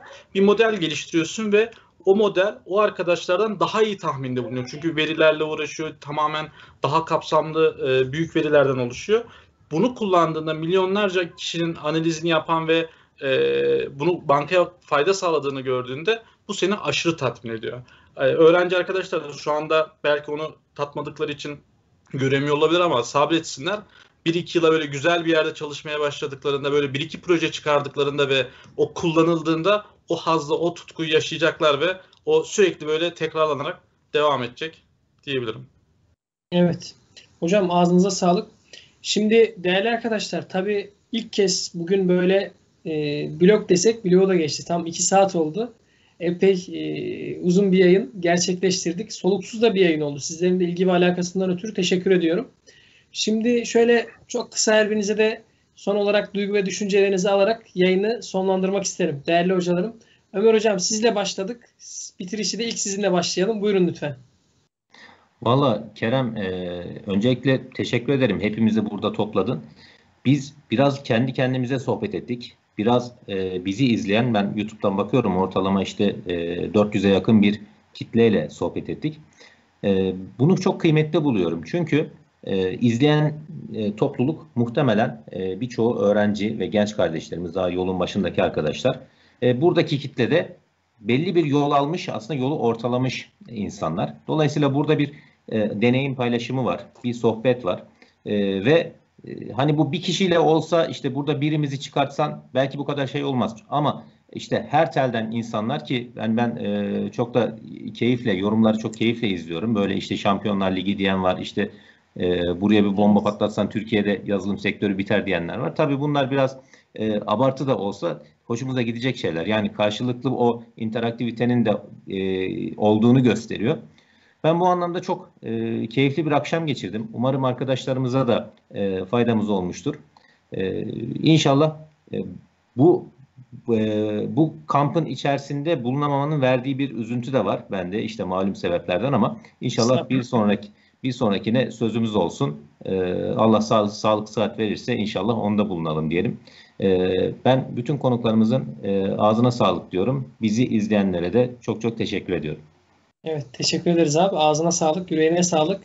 Şimdi Fahrettin Hocam sözü size verelim. Sizin de duygu düşüncelerinizi alalım. Tekrardan herkese hayırlı akşamlar, hayırlı Ramazanlar diliyorum. Yazılıma başlamak isteyen, kendini geliştirmek isteyen arkadaşlara tavsiyem şu. Herkes yazılımcı olmak için çok zeki olması gerektiğini düşünüyor.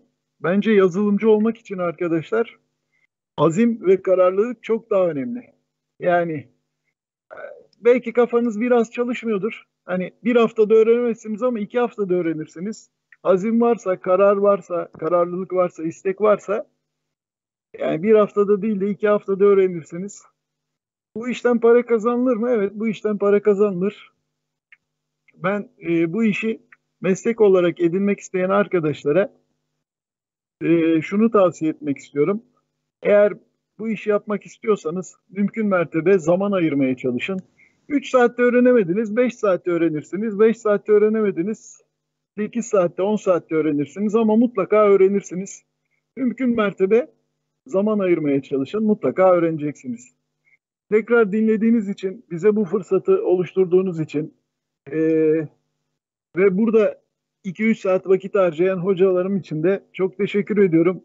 Herkese tekrar hayırlı Ramazanlar diliyorum. Evet ağzınıza sağlık hocam. Teşekkür ederiz.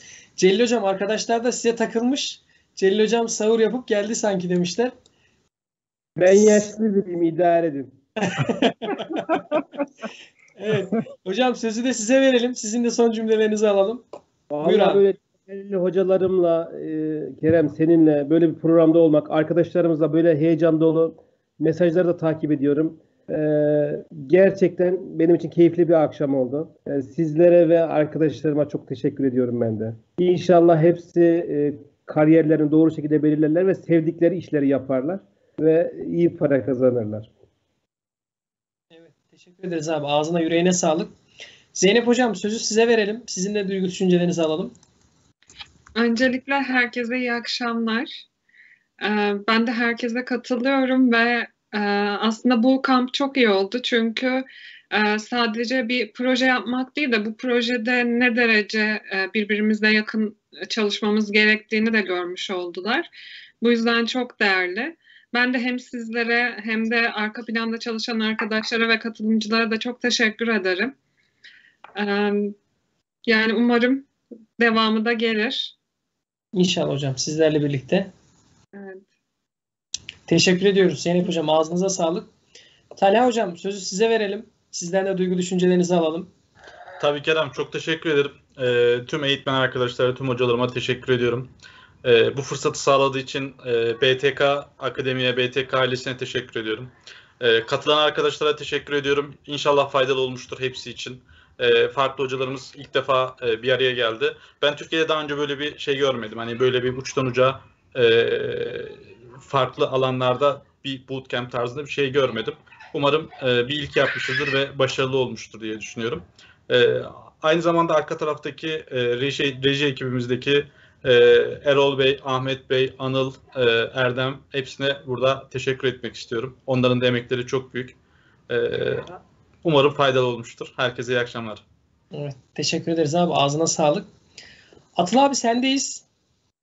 Sözü size verelim. Evet arkadaşlar herkese çok teşekkürler bütün BTK ailesine ve izleyenlere. Haftada 80 saat çalışıyoruz. Bunu e, unutmuyoruz. Aynı zamanda hepiniz doğru yoldasınız. Buna eminim. Yani gecenin bu saatinde bizi burada gelip izliyorsanız, bu eğitimleri alıyorsanız e, geleceğiniz parlak. Aynen devam edin. Başka söyleyecek hiçbir şey yok.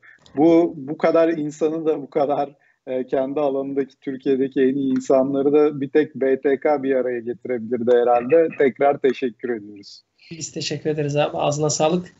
Engin abi son olarak sendeyiz. Buyurun lütfen.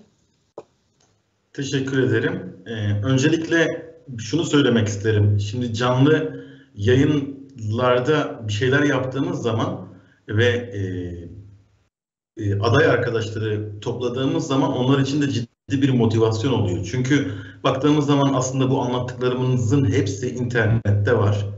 Fakat bunları disiplinli bir şekilde bak 300 kişi, 500 kişi, 1000, 2000 kişi bir araya geliyoruz. E, böyle bir şey yapıyoruz dediğimizde birçok insan için aslında e, daha motive motive edici oluyor. Bunu da çok güzel organize ettiniz. E, bunu söylemek isterim. Bütün eğitmen arkadaşlarıma çok teşekkür ederim. Bunun dışında Kerem sen özellikle hani bütün yayınlara tamamıyla katılamadım ama e, bu yayında gördüm ki bu işi de çözmüşsün. Moderatörlük noktasında mükemmel ilerletmişsin kendini. E, yani yani şey gibi Kerem'le aramız iyi. Şeyi de söyleyebilirim. Kerem'le ilk yayınları da yaptığımızdaki Kerem'i de biliyorum çünkü ben. Evet. Şu an süper bir O noktada. zamanlar böyle şeyle yapıyorduk e, yayınlarımızı. Instagram'la, telefonla falan böyle tek ekranla.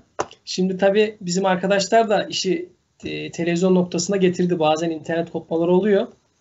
E, onların da emekleri çok büyük. Bizim için de farklı bir deneyim oldu. Güzel noktaya geldi hep birlikte. Hatırlıyorum ya Instagram'dan te- test için fake hesap falan yollamıştı. Bununla giriş yap da bir test edelim falan demişti. O güzel günlerimiz oldu evet. oldu oldu. Ee, Maşallah.